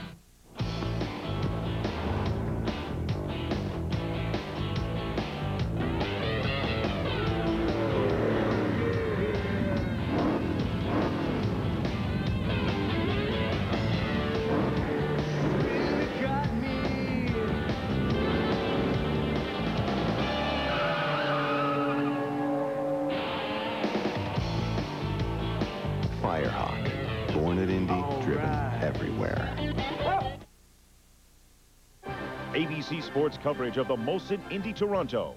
Brought to you by Molson Ice from Canada, the land where ice was born. Texaco Havoline Formula 3 Motor Oil. Craftsman 2200 hand tools, made in America, guaranteed forever, only at Sears. And Firestone, America's tire since 1900. Back in the closing laps now, 93 laps of 98 complete. Watching the battle for third place. Teo Fabi is right there doing everything he can to get around Jack Villeneuve, who started on the pole, but only once in the history of this race has the pole sitter gone on to win, and that was Michael Andretti in 1991. We'll be with you to the checkered flag here now at the front of the field. Michael still holding off Bobby Rahal. And this interval is just a little bit closer, so for the moment we'll stay here. It's like Jacques pulls away, you know, he gets ahead a little bit, and then Bobby just seems to whittle it right back. So it's a real, real fight. From time to time, you get a view of Robby Gordon, who is closing in from fifth place. Danny Sullivan just reported out of the race with a blown engine. He was running 18th at the time. Remember that Jerry Forsythe back at the lead, Michael and Rahal. Interestingly, Rahal, I mean, Michael has won four out of the last five races that he has won, run here. And now, after a dismal season, a year after winning his last race, which he did here, he's now in a position to win again. Is this a great track for him or what? Emerson Fittipaldi is the last car on the leader lap, running in 10th place. Of course, Al Unser Jr. out very early on. Interesting that Roger Penske has only won two of 23 IndyCar races held in Canada. This is so exciting because Rahal again was able to pull up, you know, and, and chip that lead down, but where would he be able to pull off a pass with two cars that Robby Gordon still closing on Teo. Look at him back there. I was going to say that Jerry Forsythe now owns Teo Fabi's car. He was partners with Barry Green, who owns the Villeneuve car last year. They split up, and so now there's a rivalry of owners as well as drivers on display here. Well, this is going to very quickly become a three-way battle as Teo tries to get Jacques and Robby Gordon tries to get them both. I would not advise moving offline on that corner, though. Not, not exactly. That's why you're seeing such caution. Just direct your eyes to the edges of the road. Take your eyes off the cars for a second. You see that gray line. That's that tire dust, the marbles. Gordon, of course, a championship contender very much. He is in a position to, he would be joyous if he saw Villeneuve and Bobby tangle right in front of him. He'd drive by those guys with a huge smile on his face. Here's Michael. As dominant here on this track as Al Unser Jr. is at Long Beach.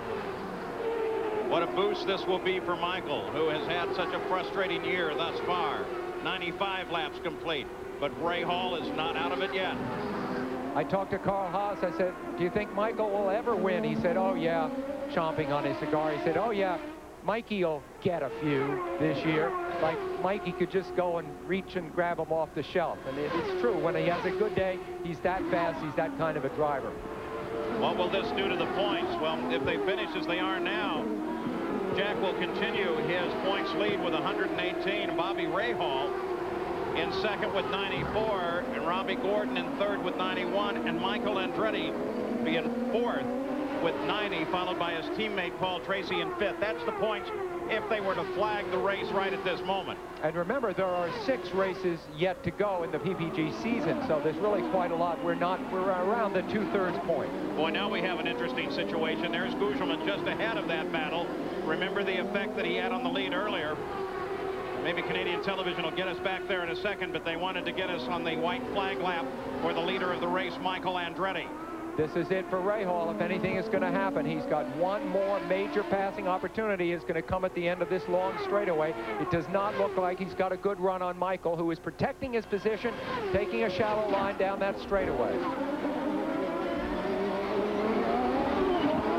Final chance of a turn here. No chance at all for Rahal.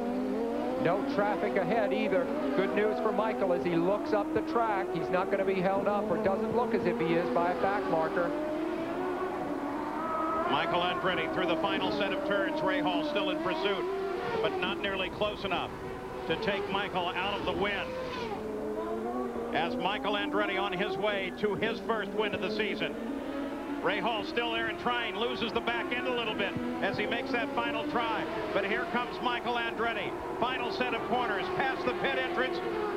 And Michael Andretti takes his 30th career win and back-to-back -back wins his fifth here in Toronto. And Finally, for Michael, the frustration is over. Now, we keep an eye on this battle for a second. I want to tell you, we would like to interview Michael Andretti at the conclusion of the race. We watch, watch the battle for third. We're running out of time. We're going to try and do this interview and try and get Michael around as quickly as possible. We'll do the best we can for you. We continue to watch the battle for second. For third place, it remains unresolved now resolved with Jacques Villeneuve crossing the line in third, then Teo Fabi, then Robby Gordon. Raul Boesel in sixth, Adrian Fernandez, then Paul Tracy, Christian Fittipaldi in ninth, just ahead of his uncle Emerson Fittipaldi. Now, Michael, hustle it around here. We'd like to talk to you before this is over. Matter of fact, they are radioing him saying, hurry up, we want to try and get a quick interview because we're running very rapidly out of time here in Toronto. But Michael certainly has the right to celebrate. Here's the unofficial results of the race. Down through sixth place with Raul Boesel. We'll go through the entire order as Michael rolls his way towards winner's circle here as the winner once again. He really is tough on this circuit. And we've already mentioned what that will do to the points. Nothing has changed since that mention. Well, Michael Andretti has concluded as the winner here. This really gets the monkey off his back as far as this season is concerned, and look out in the future races. Let's go to Jack. Well, we're going to try and get a word with Michael Andretti, even with the helmet on. We're running out of time. Michael, congratulations. Oh, you can't believe what this means. I'll tell you, it's just so great. The monkey's finally off our back. Well, you know, as you take your helmet off, Michael, one of the things that you said in the feature that we did was the fact that your aggressiveness is paid in victories, and today it seemed to have come full tilt. I think so, yeah. We just drove as hard as we could the whole time. We were lucky on that first pit stop, the way the yellow came out, and uh, uh, Lee made a great call in calling us in the pits there. That really put us in a position to win. Well, congratulations to Michael Andretti. Let's go back upstairs to Paul Page. Michael Andretti, his first win driving for Newman Haas since Laguna Seca in 1992. He wears that little patch on his nose, you know, just like the football players. I said, Michael, does that help you? He says, no, but it sure looks great. There's the point standings right now as we leave Toronto. Next week, it's off to the Burke Lakefront Airport at Cleveland, where the Indy cars will go at it again. Congratulations to Michael Andretti. I'm Paul Page for Sam Posey, Lyn St. James, Gary Gerould, and Jack Arute. We'll see you next week. This is Roger Twibell.